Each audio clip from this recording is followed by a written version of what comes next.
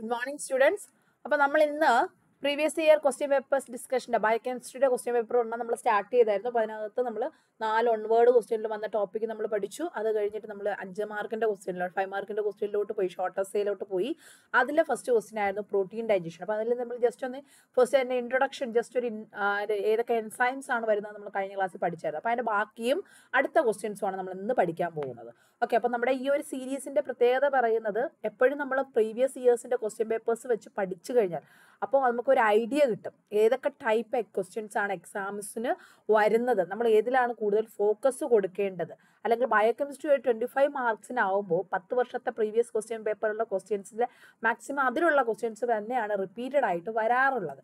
അപ്പോൾ അതുകൊണ്ട് ഇത് പഠിച്ചു കഴിഞ്ഞാൽ നിങ്ങൾക്ക് ഒരു എയ്റ്റി എയ്റ്റി ഫൈവ് അല്ലെങ്കിൽ ninety percentage more than ninety percentage ബയോകെമിസ്ട്രിയുടെ bio ninety percentage questions നിങ്ങൾക്ക് ഇതിൽ നിന്ന് കിട്ടും. പിന്നെ ഒന്നോ രണ്ടോ ഒരു ക്വസ്റ്റ്യൻ എന്തായെങ്കിലും ചിലപ്പോൾ ഇതിൽ വരാത്തത്. വളരെ റെയറാണ് അത് മാത്രമേ ഞാൻ ഉറപ്പ് വരുന്നത് ഹൺഡ്രഡ് പെർസെന്റ് ഒരിക്കലും നമുക്ക് പറയാൻ പറ്റത്തില്ല.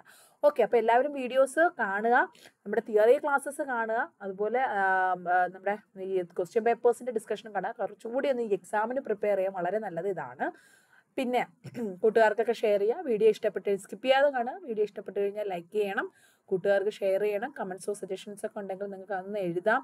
അതൊക്കെ കാണുമ്പോൾ ഒരു സന്തോഷം തോന്നും. അപ്പോൾ വീണ്ടും വീണ്ടും വീഡിയോസ് അപ്ലോഡ് ചെയ്യാനുള്ള ഒരു ഒരു ടെൻഡൻസി കൂടും.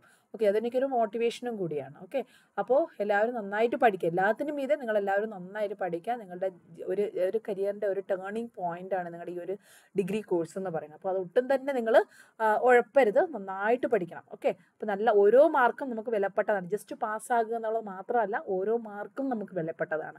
ആ രീതിക്ക് തന്നെ നിങ്ങൾ പഠിക്കുക. ഓക്കെ കൂട്ടുകാർക്കൊക്കെ ഒന്ന് ചാനലിനെ കുറിച്ച് ഷെയർ മീൻസ് ഷെയർ ചെയ്ത് കൊടുക്കുകയോ നിങ്ങളുടെ അഭിപ്രായങ്ങളൊക്കെ ഒന്ന് പറയുകയോ ചെയ്യുക. Okay thank you for choosing my video നമുക്ക് കണ്ടിന്യൂ ചെയ്യാം. അപ്പോൾ ഇവിടെ നമ്മളെ ഫസ്റ്റ് ക്വസ്റ്റ്യൻ എന്ന് പറയുന്നത് ഡൈജഷൻ ഓഫ് പ്രോ ഓക്കെ അപ്പോൾ ഫസ്റ്റ് ക്വസ്റ്റ്യൻ എന്ന് പറയുന്നത് ഡൈജഷൻ ഓഫ് പ്രോട്ടീൻ ആണ്. അപ്പോൾ നമുക്ക് അത് ആണ് നമ്മൾ പഠിക്കാൻ പോകുന്നത്. എന്നിട്ട് വളരെ ഇമ്പോർട്ടന്റ് ആയിട്ടുള്ള ഒരുപാട് തവണ എക്സാംസിന് റിപ്പീറ്റഡ് ആയിട്ട് ചോദിച്ചിട്ടുള്ള പോർഷനാണ് ഡൈജഷൻ ഓഫ് പ്രോട്ടീൻസ് എന്ന്. അപ്പോൾ അത് അഞ്ച് മാർക്കിന് വരാം. ഇതിനകത്ത് നമ്മൾ പഠിക്കുന്ന ഫാക്റ്റുകൾ വെച്ചിട്ട് ഒരു മാർക്കിനും രണ്ട് മാർക്കിനും ഉള്ള ക്വസ്റ്റ്യൻസും വരാൻ ചാൻസ് ഉണ്ട്. അപ്പോൾ അത്രയും ഡീറ്റെയിൽ ആയിട്ട് തന്നെ നമ്മൾ പഠിക്കും. അപ്പോൾ കഴിഞ്ഞ ക്ലാസ്സിൽ ഞാൻ പറഞ്ഞു ഡൈജഷൻ ഓഫ് പ്രോട്ടീൻ എന്ന് പറയുമ്പോൾ നമുക്ക് ഡൈജഷൻ എവിടെ മീൻസ് പ്രോട്ടീൻ എവിടെ നിന്നാണ് നമുക്ക് കിട്ടുന്നത്? നമുക്ക് ഡയറ്ററി സോഴ്സ് നമ്മൾ കഴിക്കുന്ന ആഹാരത്തിലൂടെയും കിട്ടും. ഒപ്പം നമ്മുടെ ശരീരത്തിൽ എൻഡോജീനിയസ് ആയിട്ട് നമ്മുടെ ബോഡിയിൽ തന്നെ കുറച്ച് പ്രോട്ടീൻസ് ക്രിയേറ്റ് ചെയ്യുകയും ചെയ്യുന്നു. അപ്പോൾ ഇത് രണ്ടും ഡൈജസ്റ്റ് ചെയ്യണം അല്ലേ? അപ്പോൾ ഒന്ന് നമ്മൾ കഴിക്കുന്ന ആഹാരത്തിലൂടെ നമുക്കൊരു അൻപത് മുതൽ മീൻസ് ഹൺഡ്രഡ് അമ്പത് മുതൽ നൂറ് ഗ്രാം പെർ ഡേ ഓരോ ദിവസം നമ്മൾ കഴിക്കുന്ന ആഹാരത്തിലൂടെ അൻപത് മുതൽ നൂറ് ഗ്രാം പെർ ഡേ ഓരോ ദിവസം നമുക്ക് കിട്ടും. പിന്നെ അതിന് അത് പോയിട്ട് നമ്മുടെ ശരീരത്തിൽ മുപ്പത് മുതൽ ഹൺഡ്രഡ് ഗ്രാംസ് വരെ തേർട്ടി ടു ഹൺഡ്രഡ് ഗ്രാംസ് വരെ നമ്മുടെ ശരീരത്തിൽ നിർമ്മിക്കുന്നുണ്ട് പ്രോട്ടീൻസ് ഈ പ്രോട്ടീൻസ് എല്ലാം തന്നെ എന്ത് ചെയ്യണം? ഒരു ഹെൽത്തി ആയിട്ടുള്ള ഒരാളാകുമ്പോഴത്തേക്ക് പ്രോട്ടീൻസ് എല്ലാം തന്നെ പ്രോപ്പറായിട്ട് ഡൈജസ്റ്റ് ചെയ്ത് അബ്സോർബ് ചെയ്യുന്നുണ്ട്. വളരെ ചെറിയൊരളവിൽ മാത്രമേ അതായത് ഫൈവ് ടു ടെൻ ഗ്രാംസ് മാത്രമേ നമ്മുടെ ഫീസിസ് വഴി നമുക്ക് നഷ്ടമാകുന്നുള്ളൂ ബാക്കി എല്ലാം തന്നെ നമ്മുടെ ശരീരത്തിൽ പ്രോപ്പറായിട്ട് അബ്സോർബ് ചെയ്യും. അല്ലെ? ഡൈജസ്റ്റ് ചെയ്ത് അബ്സോർബ് ചെയ്യും. ഇനി ഫീസിസിൽ നമ്മൾ ഈ ഒരു പ്രോട്ടീന്റെ അളവ് കൂടുതലായി കാണുന്നു എന്ന് പറഞ്ഞാൽ അതിന്റെ അർത്ഥം എന്താണ്? അതിന്റെ മീനിങ് എന്ന് പറയുന്നത് there is no proper digestion and absorption of proteins that means there is some abnormalities during protein digestion അല്ലെ? അപ്പോൾ ഇനി അടുത്ത് നമുക്ക് പ്രധാനമായിട്ട് ആദ്യം നമ്മളിവിടെ പറയേണ്ടത് എന്തൊക്കെ എൻസൈംസ് ആണ് എങ്ങനെയാണ് ഇത് പ്രോട്ടീൻസ് ഡൈജസ്റ്റ് ചെയ്യുന്നത് ഏതൊക്കെ എൻസൈംസ് ആണ് സഹായിക്കുന്നത്? അത് നമുക്ക് ആദ്യം ഒന്ന് ഇൻട്രൊഡക്ഷനിൽ പറയാം.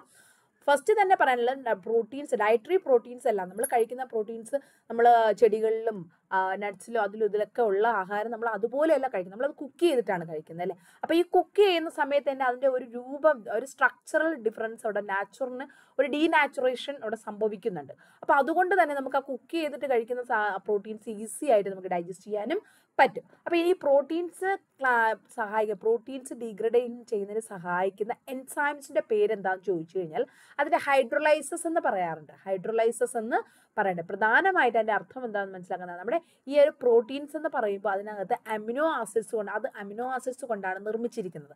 കുറേ അമിനോ ആസിഡ്സുകൾ ചേർന്നാണ് പ്രോട്ടീൻസ് രൂപപ്പെട്ടിരിക്കുന്നത്. അപ്പോൾ ഈ അമിനോ ആസിഡ്സുകൾ തമ്മിൽ കണക്ട് ചെയ്യുന്ന ബോണ്ടിനെ പറയുന്ന പേരാണ് പെപ്റ്റൈഡ് ബോണ്ട് പെപ്റ്റൈഡ് ബോണ്ട് എന്നാണ് പറയുന്നത്. ഈ പെപ്റ്റൈഡ് ബോണ്ടുകളെ സെപ്പറേറ്റ് ചെയ്യുക. അതാണ് പ്രോട്ടീൻ ഡൈജഷൻ എന്ന് പറയുന്നത്. ഈ സെപ്പറേറ്റ് പെപ്റ്റൈഡ് ബോണ്ടുകളെ സെപ്പറേറ്റ് ചെയ്യുക. അല്ലെങ്കിൽ ക്ലീവ് ചെയ്യുക. അല്ലെങ്കിൽ ബ്രേക്ക് ചെയ്യുക. അതിന് സഹായിക്കുന്ന എൻസൈംസിന് എന്താ പറയുന്നത് പെപ്റ്റിഡേസ് എന്നാണ് പറയുന്നത് പെപ്റ്റൈഡ് ബോണ്ടുകൾ ക്ലീവ് ചെയ്യാൻ അല്ലെങ്കിൽ ബ്രേക്ക് ചെയ്യാൻ സഹായിക്കുന്ന എൻസൈംസിന് എന്താ പറയുന്നത് പെപ്റ്റിഡേസസ് എന്നാണ് പറയുന്നത്. ഓക്കെ അപ്പോൾ അത് ജസ്റ്റ് ഓർത്തിരിക്കുക. പെപ്റ്റിഡേസസ് ചിലപ്പോൾ വൺ മാർക്ക് ക്വസ്റ്റിനൊക്കെ ചോദിക്കാൻ ചാൻസ് അപ്പോൾ ഇനി പെപ്റ്റിഡേസസിന് അതായത് ഈ ഒരു പെപ്റ്റൈഡ് ബോണ്ടുകൾ തന്നെ ഡിവൈഡ് ചെയ്യാൻ അല്ലെങ്കിൽ ബ്രേക്ക് ചെയ്യാൻ സഹായിക്കുന്ന പെപ്റ്റിഡേസസ് പല ടൈപ്പ് ഉണ്ട്. അതായത് ഏത് ഭാഗത്തുള്ള പ്രോട്ടീന്റെ ഏത് ഭാഗത്തുള്ള പെപ്റ്റൈഡ് ബോണ്ടാണ് ഇവർ ബ്രേക്ക് ചെയ്യുന്നത്.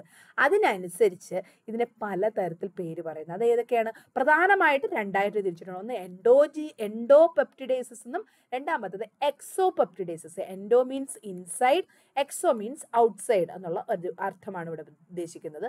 അതായത് നമ്മുടെ amino acids amino acids peptide bond amino acids peptide bond amino acids peptide bond amino acids peptide ഇങ്ങനെയാണ് പ്രോട്ടീൻ ഇരിക്കുന്നത്. അപ്പോൾ ഇതിൽ ഉള്ളിലുള്ള പെപ്റ്റൈഡ് ബോണ്ടുകൾ ബ്രേക്ക് ചെയ്യാൻ സഹായിക്കുന്ന എൻസൈം ആണെങ്കിൽ അതിനെന്ത് പറയുന്നു? എൻഡോ പെപ്റ്റിഡേസ് എന്ന് പറയുന്നത് അതായത് ഇന്റേണൽ പെപ്റ്റൈഡ് ബോണ്ടാണ് അവിടെ സെപ്പറേറ്റ് ചെയ്യുന്നതെങ്കിൽ അതിനെന്ത് പറയുന്നു? എൻഡോ പെപ്റ്റിഡേസസ് എന്നാണ് പറയുന്നത്. അത് സഹായിക്കുന്ന എൻസൈംസ് ഏതൊക്കെയാണ്? പെപ്സിൻ ട്രിപ്സിൻ ഇതൊക്കെ എൻഡോ പെപ്റ്റിഡേസസിന് എക്സാമ്പിൾ ആണ്. ഓക്കെ ക്ലിയർ എൻഡോ പെപ്റ്റിഡേസസ് ഇനി എക്സോ പെപ്റ്റിഡേസസ് എന്ന് പറഞ്ഞു കഴിഞ്ഞാൽ അതായത് നമ്മുടെ ഈ പ്രോട്ടീനിന്റെ ഒരു ടെർമിനലിൽ കാർബൺ ടെർമിനൽ അമിനോ ആസിഡ്സും അതായത് കാർബൺ ടെർമിനൽ ഉണ്ട്. പിന്നെ ഒരു ഒരു ടെർമിനലിൽ എന്തുണ്ട്?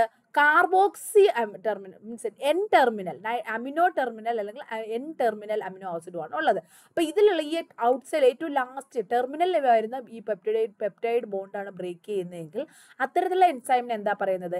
എക്സോ പെപ്റ്റിഡൈസസ് എന്നാണ് പറയുന്നത്. എക്സോ പെപ്റ്റിഡൈസസ് ഔട്ടർ ടെർമിനൽ അമിനോ ആസിഡ്സിലുള്ള പെപ്റ്റൈഡ് ബോണ്ടിനെ ബ്രേക്ക് ചെയ്യുന്ന എൻസൈംസിനെ എക്സോ അമിൻ പെപ്റ്റിഡൈസസ് എന്നാണ് പറയുന്നത്. അത് തന്നെ രണ്ട് ടൈപ്പ് ഉണ്ട്. ഒന്ന് car carbon terminal amino acids ആണെങ്കിൽ അത് ബ്രേക്ക് ചെയ്യുകയാണെങ്കിൽ അതിനെ കാർബോക്സി പെപ്റ്റിഡേസ് എന്നും അതുപോലെ എൻ ടെർമിനൽ അമിനോ ആസിഡ്സ് ആണ് ബ്രേക്ക് ചെയ്യുന്നതെങ്കിൽ അതിനെ അമിനോ പെപ്റ്റിഡേസസ് എന്നാണ് പറയുന്നത്. അപ്പോൾ ഇത്രയാണ് എൻസൈംസ് നമുക്ക് ഇതിനകത്ത് പഠിക്കാനുള്ളത്.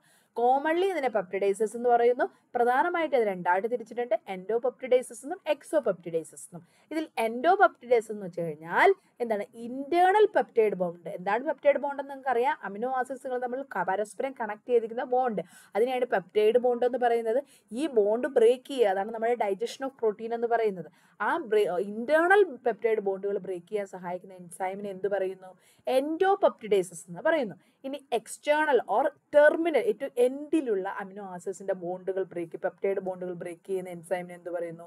എക്സോ പെപ്റ്റിഡേസസ് എന്ന് പറയുന്നു. ഇനി അതൊരു കാർബൺ ടെർമിനൽ അമിനോ ആസിഡ്സ് ആണെങ്കിൽ അതിന് കാർബോക്സി പെപ്റ്റിഡേസ് എന്നും എൻ ടെർമിനൽ അല്ലെങ്കിൽ നൈട്രജൻ ടെർമിനൽ അമിനോ ആസിഡ്സ് ആണെങ്കിൽ എന്ത് പറയുന്നു? അമിനോ പെപ്റ്റിഡേസസ് എന്നാണ് പറയുന്നത്. ഇനി നമുക്ക് ഇത്രയുമാണ് നമ്മുടെ ഈ ഹോൾ പ്രോസസ്സിനകത്തുള്ള എൻസൈംസിന്റെ ക്ലാസിഫിക്കേഷൻ വരുന്നത്. ഇനിയാണ് നമ്മൾ ഡൈജഷൻ പഠിക്കാൻ പോകുന്നത്. അപ്പം നമ്മൾ ആദ്യം ആഹാരം എന്ത് വാ വഴിയാണ് കഴിക്കുന്നത് അല്ലെ? മൗത്തിൽ അപ്പോൾ ഡൈജഷൻ നടക്കുന്നുണ്ടോ? ഇല്ലയോ എന്നുള്ളത് ആദ്യം നമ്മൾ അറിയണം. Okay proteolytic enzymes responsible for the digestion of proteins are produced by the stomach അതായത് നമ്മുടെ മൗത്തിൽ യാതൊരുവിധ എൻസൈംസും protein digestion സഹായിക്കുന്നില്ല.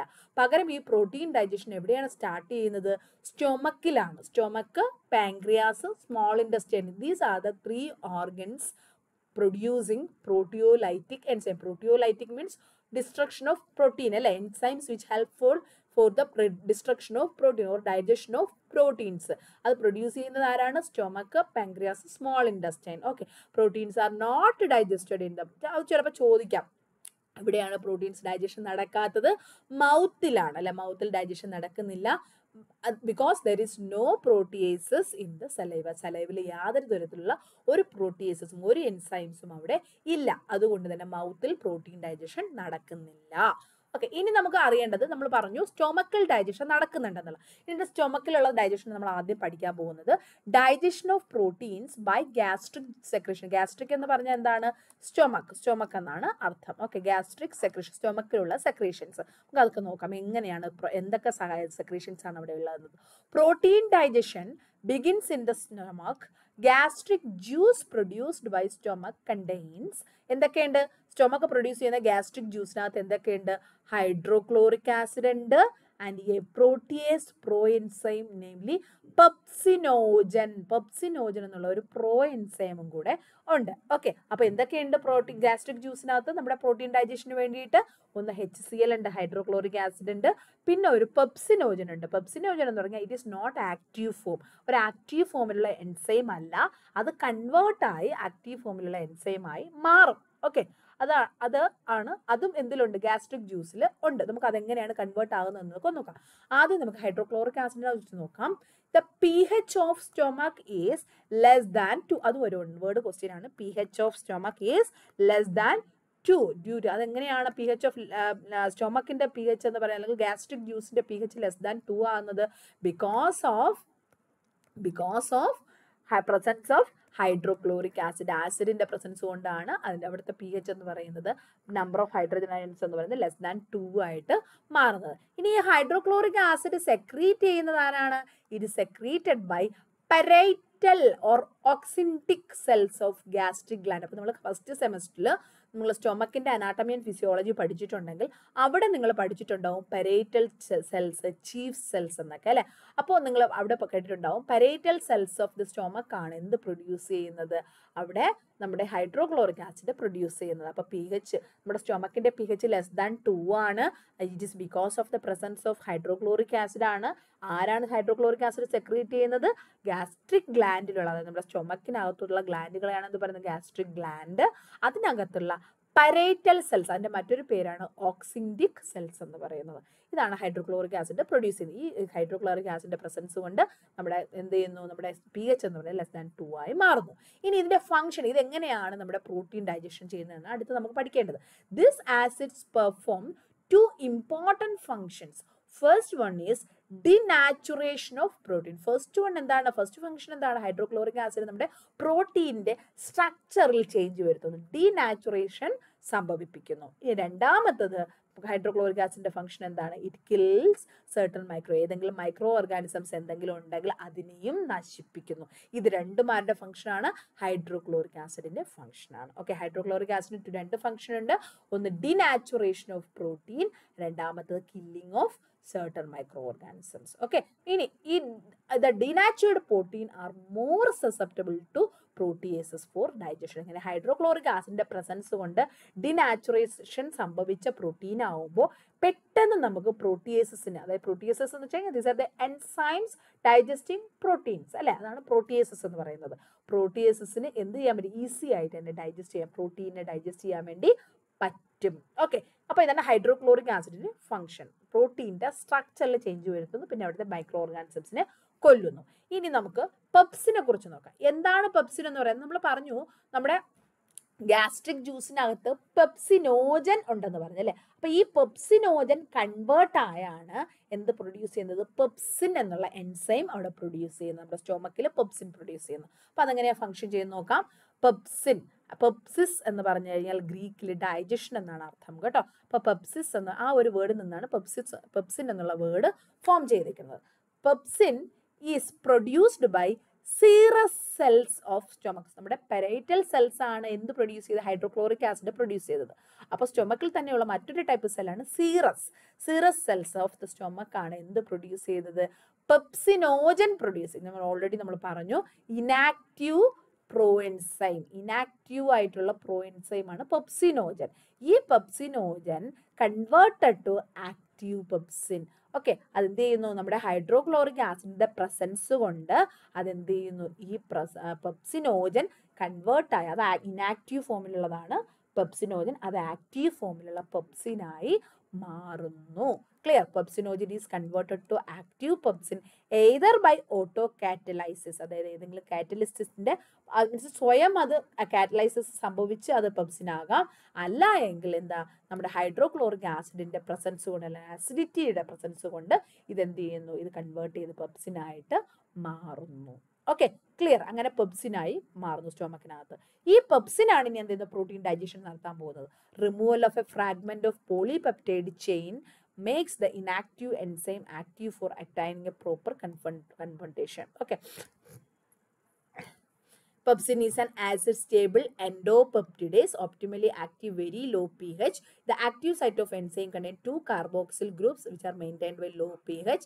Pepsin A is the most predominant gastric protease which preferably cleaves peptide from, from the phenylalanine and tyrosine leucine. Okay, അപ്പൊ നമ്മളിവിടെ വേറൊന്നും പഠിക്കാനില്ല pepsin എന്ന് പറയുമ്പോൾ എന്താണ് നമ്മുടെ ഗ്യാസ്ട്രിക് ജ്യൂസിലുള്ള സ്റ്റൊമക്കിലുള്ള സീറസ് സെൽസ് പ്രൊഡ്യൂസ് ചെയ്യുന്ന പെപ്സിനോജൻ സ്വയം ഓട്ടോ കാറ്റലൈസിസ് സംഭവിച്ചോ? അല്ലെങ്കിൽ ഹൈഡ്രോക്ലോറിക് ആസിഡിന്റെ പ്രസൻസ് കൊണ്ടോ ഇത് കൺവേർട്ട് ആകുന്നു എന്തായി കൺവേർട്ട് ചെയ്യുന്നു?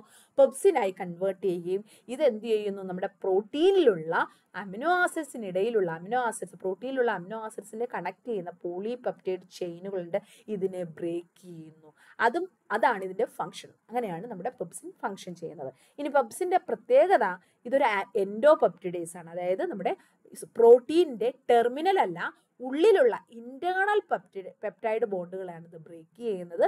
ഈ പെപ്സിൻ നമ്മുടെ ലോ പി എച്ചിലും അതായത് അസിഡിക് മീഡിയത്തിലും സ്റ്റേബിൾ ആണ്. Low acidic means low P എച്ചിലും stable ആയിട്ടുള്ള ഒരു എൻസൈമാണ് പെപ്സിൻ എന്ന് പറയുന്നത്.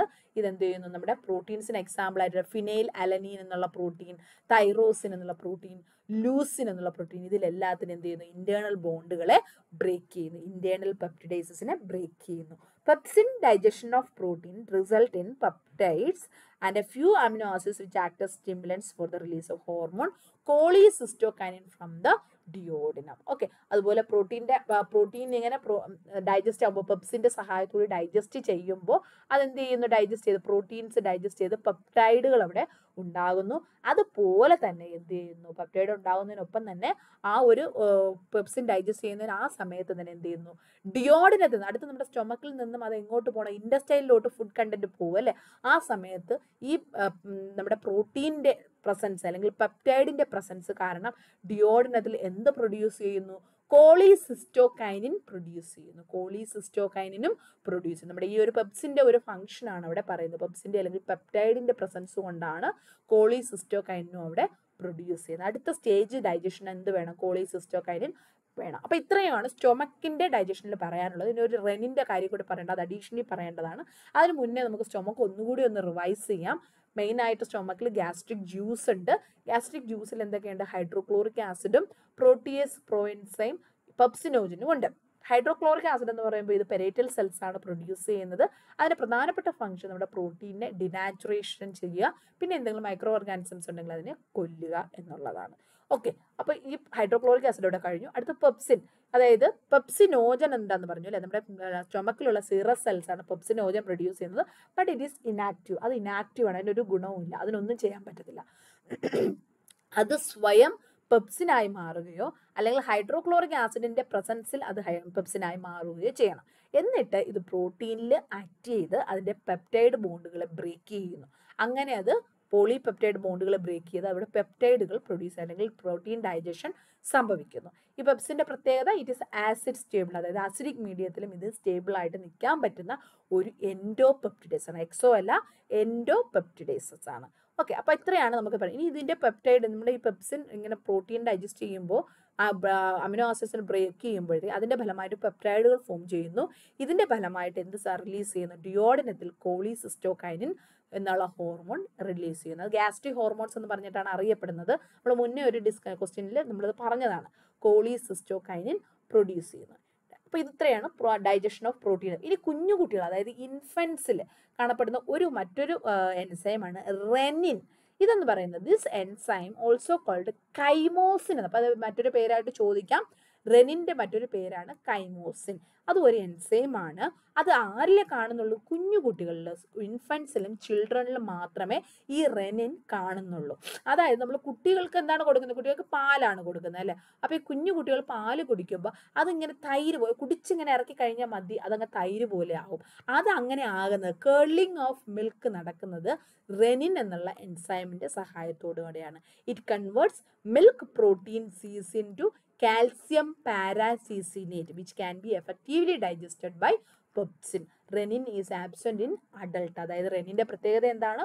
കുട്ടികളിൽ ഇൻഫൻസിലും കുഞ്ഞു കുട്ടികളിലും മാത്രമേ ഇത് കാണത്തുള്ളൂ. ഇതിന്റെ മറ്റൊരു പേര് കൈമോസിൻ എന്നാണ്.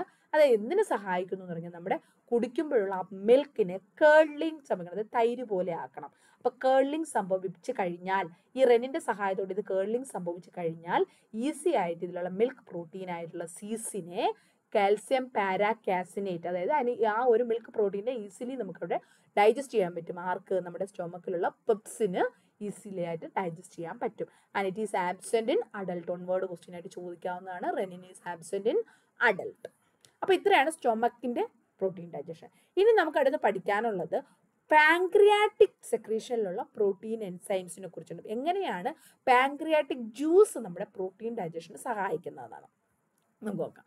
The digestion of protein by pancreatic proteases എങ്ങനെയാണ് പ്രോട്ടീന്റെ ഡൈജഷൻ പാങ്ക്രിയാസ് ജ്യൂസ് സഹായിക്കുന്നത് the proteases of pancreatic juice are secreted as zymogens or proenzymes then converted to active forms these processes are initiated by release of two polypeptide hormones namely cholecystokinin and secretin from the intestine അതായത് നമ്മുടെ സ്റ്റൊമക്കിൽ നിന്ന് food content ഡിയോഡനത്തിലോട്ട് പോകുന്ന ആ ഒരു സമയമാകുമ്പോൾ കറക്റ്റായിട്ട് അവിടെ ഇൻഡസ്റ്റൈനിൽ രണ്ട് ഹോർമോൺസ് പ്രൊഡ്യൂസ് ചെയ്യുന്നു. ഒന്ന് നേരത്തെ നമ്മൾ പറഞ്ഞു കോളിസിസ്റ്റോക്കൈനിൻ മറ്റൊന്ന് സെക്രീറ്റിൻ ഈ രണ്ട് എൻസൈംസ് പ്രൊഡ്യൂസ് ചെയ്യുന്നു. അതിന്റെ ഫലമായിട്ടാണ് ആ രണ്ട് ഹോർമോൺസിന്റെ സ്റ്റിമുലേഷൻ കാരണമാണ് ആര് പ്രൊഡ്യൂസ് ചെയ്യുന്നത്? പാങ്ക്രിയാസ് പാങ്ക്രിയാറ്റിക് ജ്യൂസ് പ്രൊഡ്യൂസ് ചെയ്യുന്നത്. ഈ പാൻക്രിയാറ്റിക് ജ്യൂസിനകത്ത് ചില എൻസൈംസ് ഉണ്ട്. പക്ഷേ അതെല്ലാം ഇനാക്റ്റീവ് ഫോമാണ് അത് ഒരു ഗുണവുമില്ല. അത് മീൻസ് വർക്ക് ചെയ്യാത്ത രീതിയിലാണ് ഇരിക്കുന്നത്. ഇനി ഇത് വർക്ക് ചെയ്യുന്ന ആക്റ്റീവ് ഫോമിലോട്ട് കൺവേർട്ട് ചെയ്യണം. അത് കഴിഞ്ഞാലേ ഇത് എന്ത് ചെയ്യത്തുള്ളൂ? ഇത് നമ്മുടെ പ്രോട്ടീൻ ഡൈജസ്റ്റ് ചെയ്യത്തുള്ളൂ. അപ്പോൾ അതെങ്ങനെയാണ് നടക്കുന്നതെന്നാണ് അടുത്ത് നമ്മൾ നോക്കാൻ പോകുന്നത്. Release and activation of zymogen. ആദ്യം നമുക്ക് പഠിക്കേണ്ടത് പാൻക്രിയാസിൽ നിന്നും നമ്മുടെ എന്താണ് പാൻക്രിയാറ്റിക് ജ്യൂസ് റിലീസ് ചെയ്ത്. നോക്കാം. The key enzyme for activation of zymogen is enteropeptidases produced by intestinal mucosal epithelial cells അതായത് ആദ്യം എന്താ ചെയ്യുന്നത്? നമ്മുടെ ഇൻഡസ്റ്റൈനലിലുള്ള ഇൻഡസ്റ്റൈനൽ മ്യൂക്കസയുടെ എപ്പിത്തീലിയൽ സെൽസിൽ നിന്നും ഒരു ഇനാക്റ്റീവ് എൻസൈം പ്രൊഡ്യൂസ് ചെയ്യുന്നു. ഏതാണ്? അതിന്റെ പേരെന്താണ്? എൻഡറോ പെപ്റ്റിഡൈസൈഡ്സ് എൻഡറോ എന്ന് വെച്ച് കഴിഞ്ഞാൽ കോളോൺ എന്നുള്ള അർത്ഥം. എൻഡ്രോ എൻഡ്രോസൈഡ്സ് എന്നൊക്കെ പറഞ്ഞു കഴിഞ്ഞാൽ കോളോൺ എന്നാണ് ആ എൻഡ്രോ എന്നുള്ള വേർഡിന്റെ അർത്ഥം. കോളോൺ എന്ന് വെച്ച് കഴിഞ്ഞാൽ നമ്മുടെ ഇൻഡസ്റ്റൈൻ അർത്ഥം. ലാർജ് ഇൻഡസ്റ്റൈൻ ഉണ്ട്. സ്മോൾ ഇൻഡസ്റ്റൈൻ ഉണ്ട്. ബട്ട് ഇയർ നമ്മൾ സംസാരിക്കുന്നത് സ്മോൾ ഇൻഡസ്റ്റൈനെ കുറിച്ചാണ്.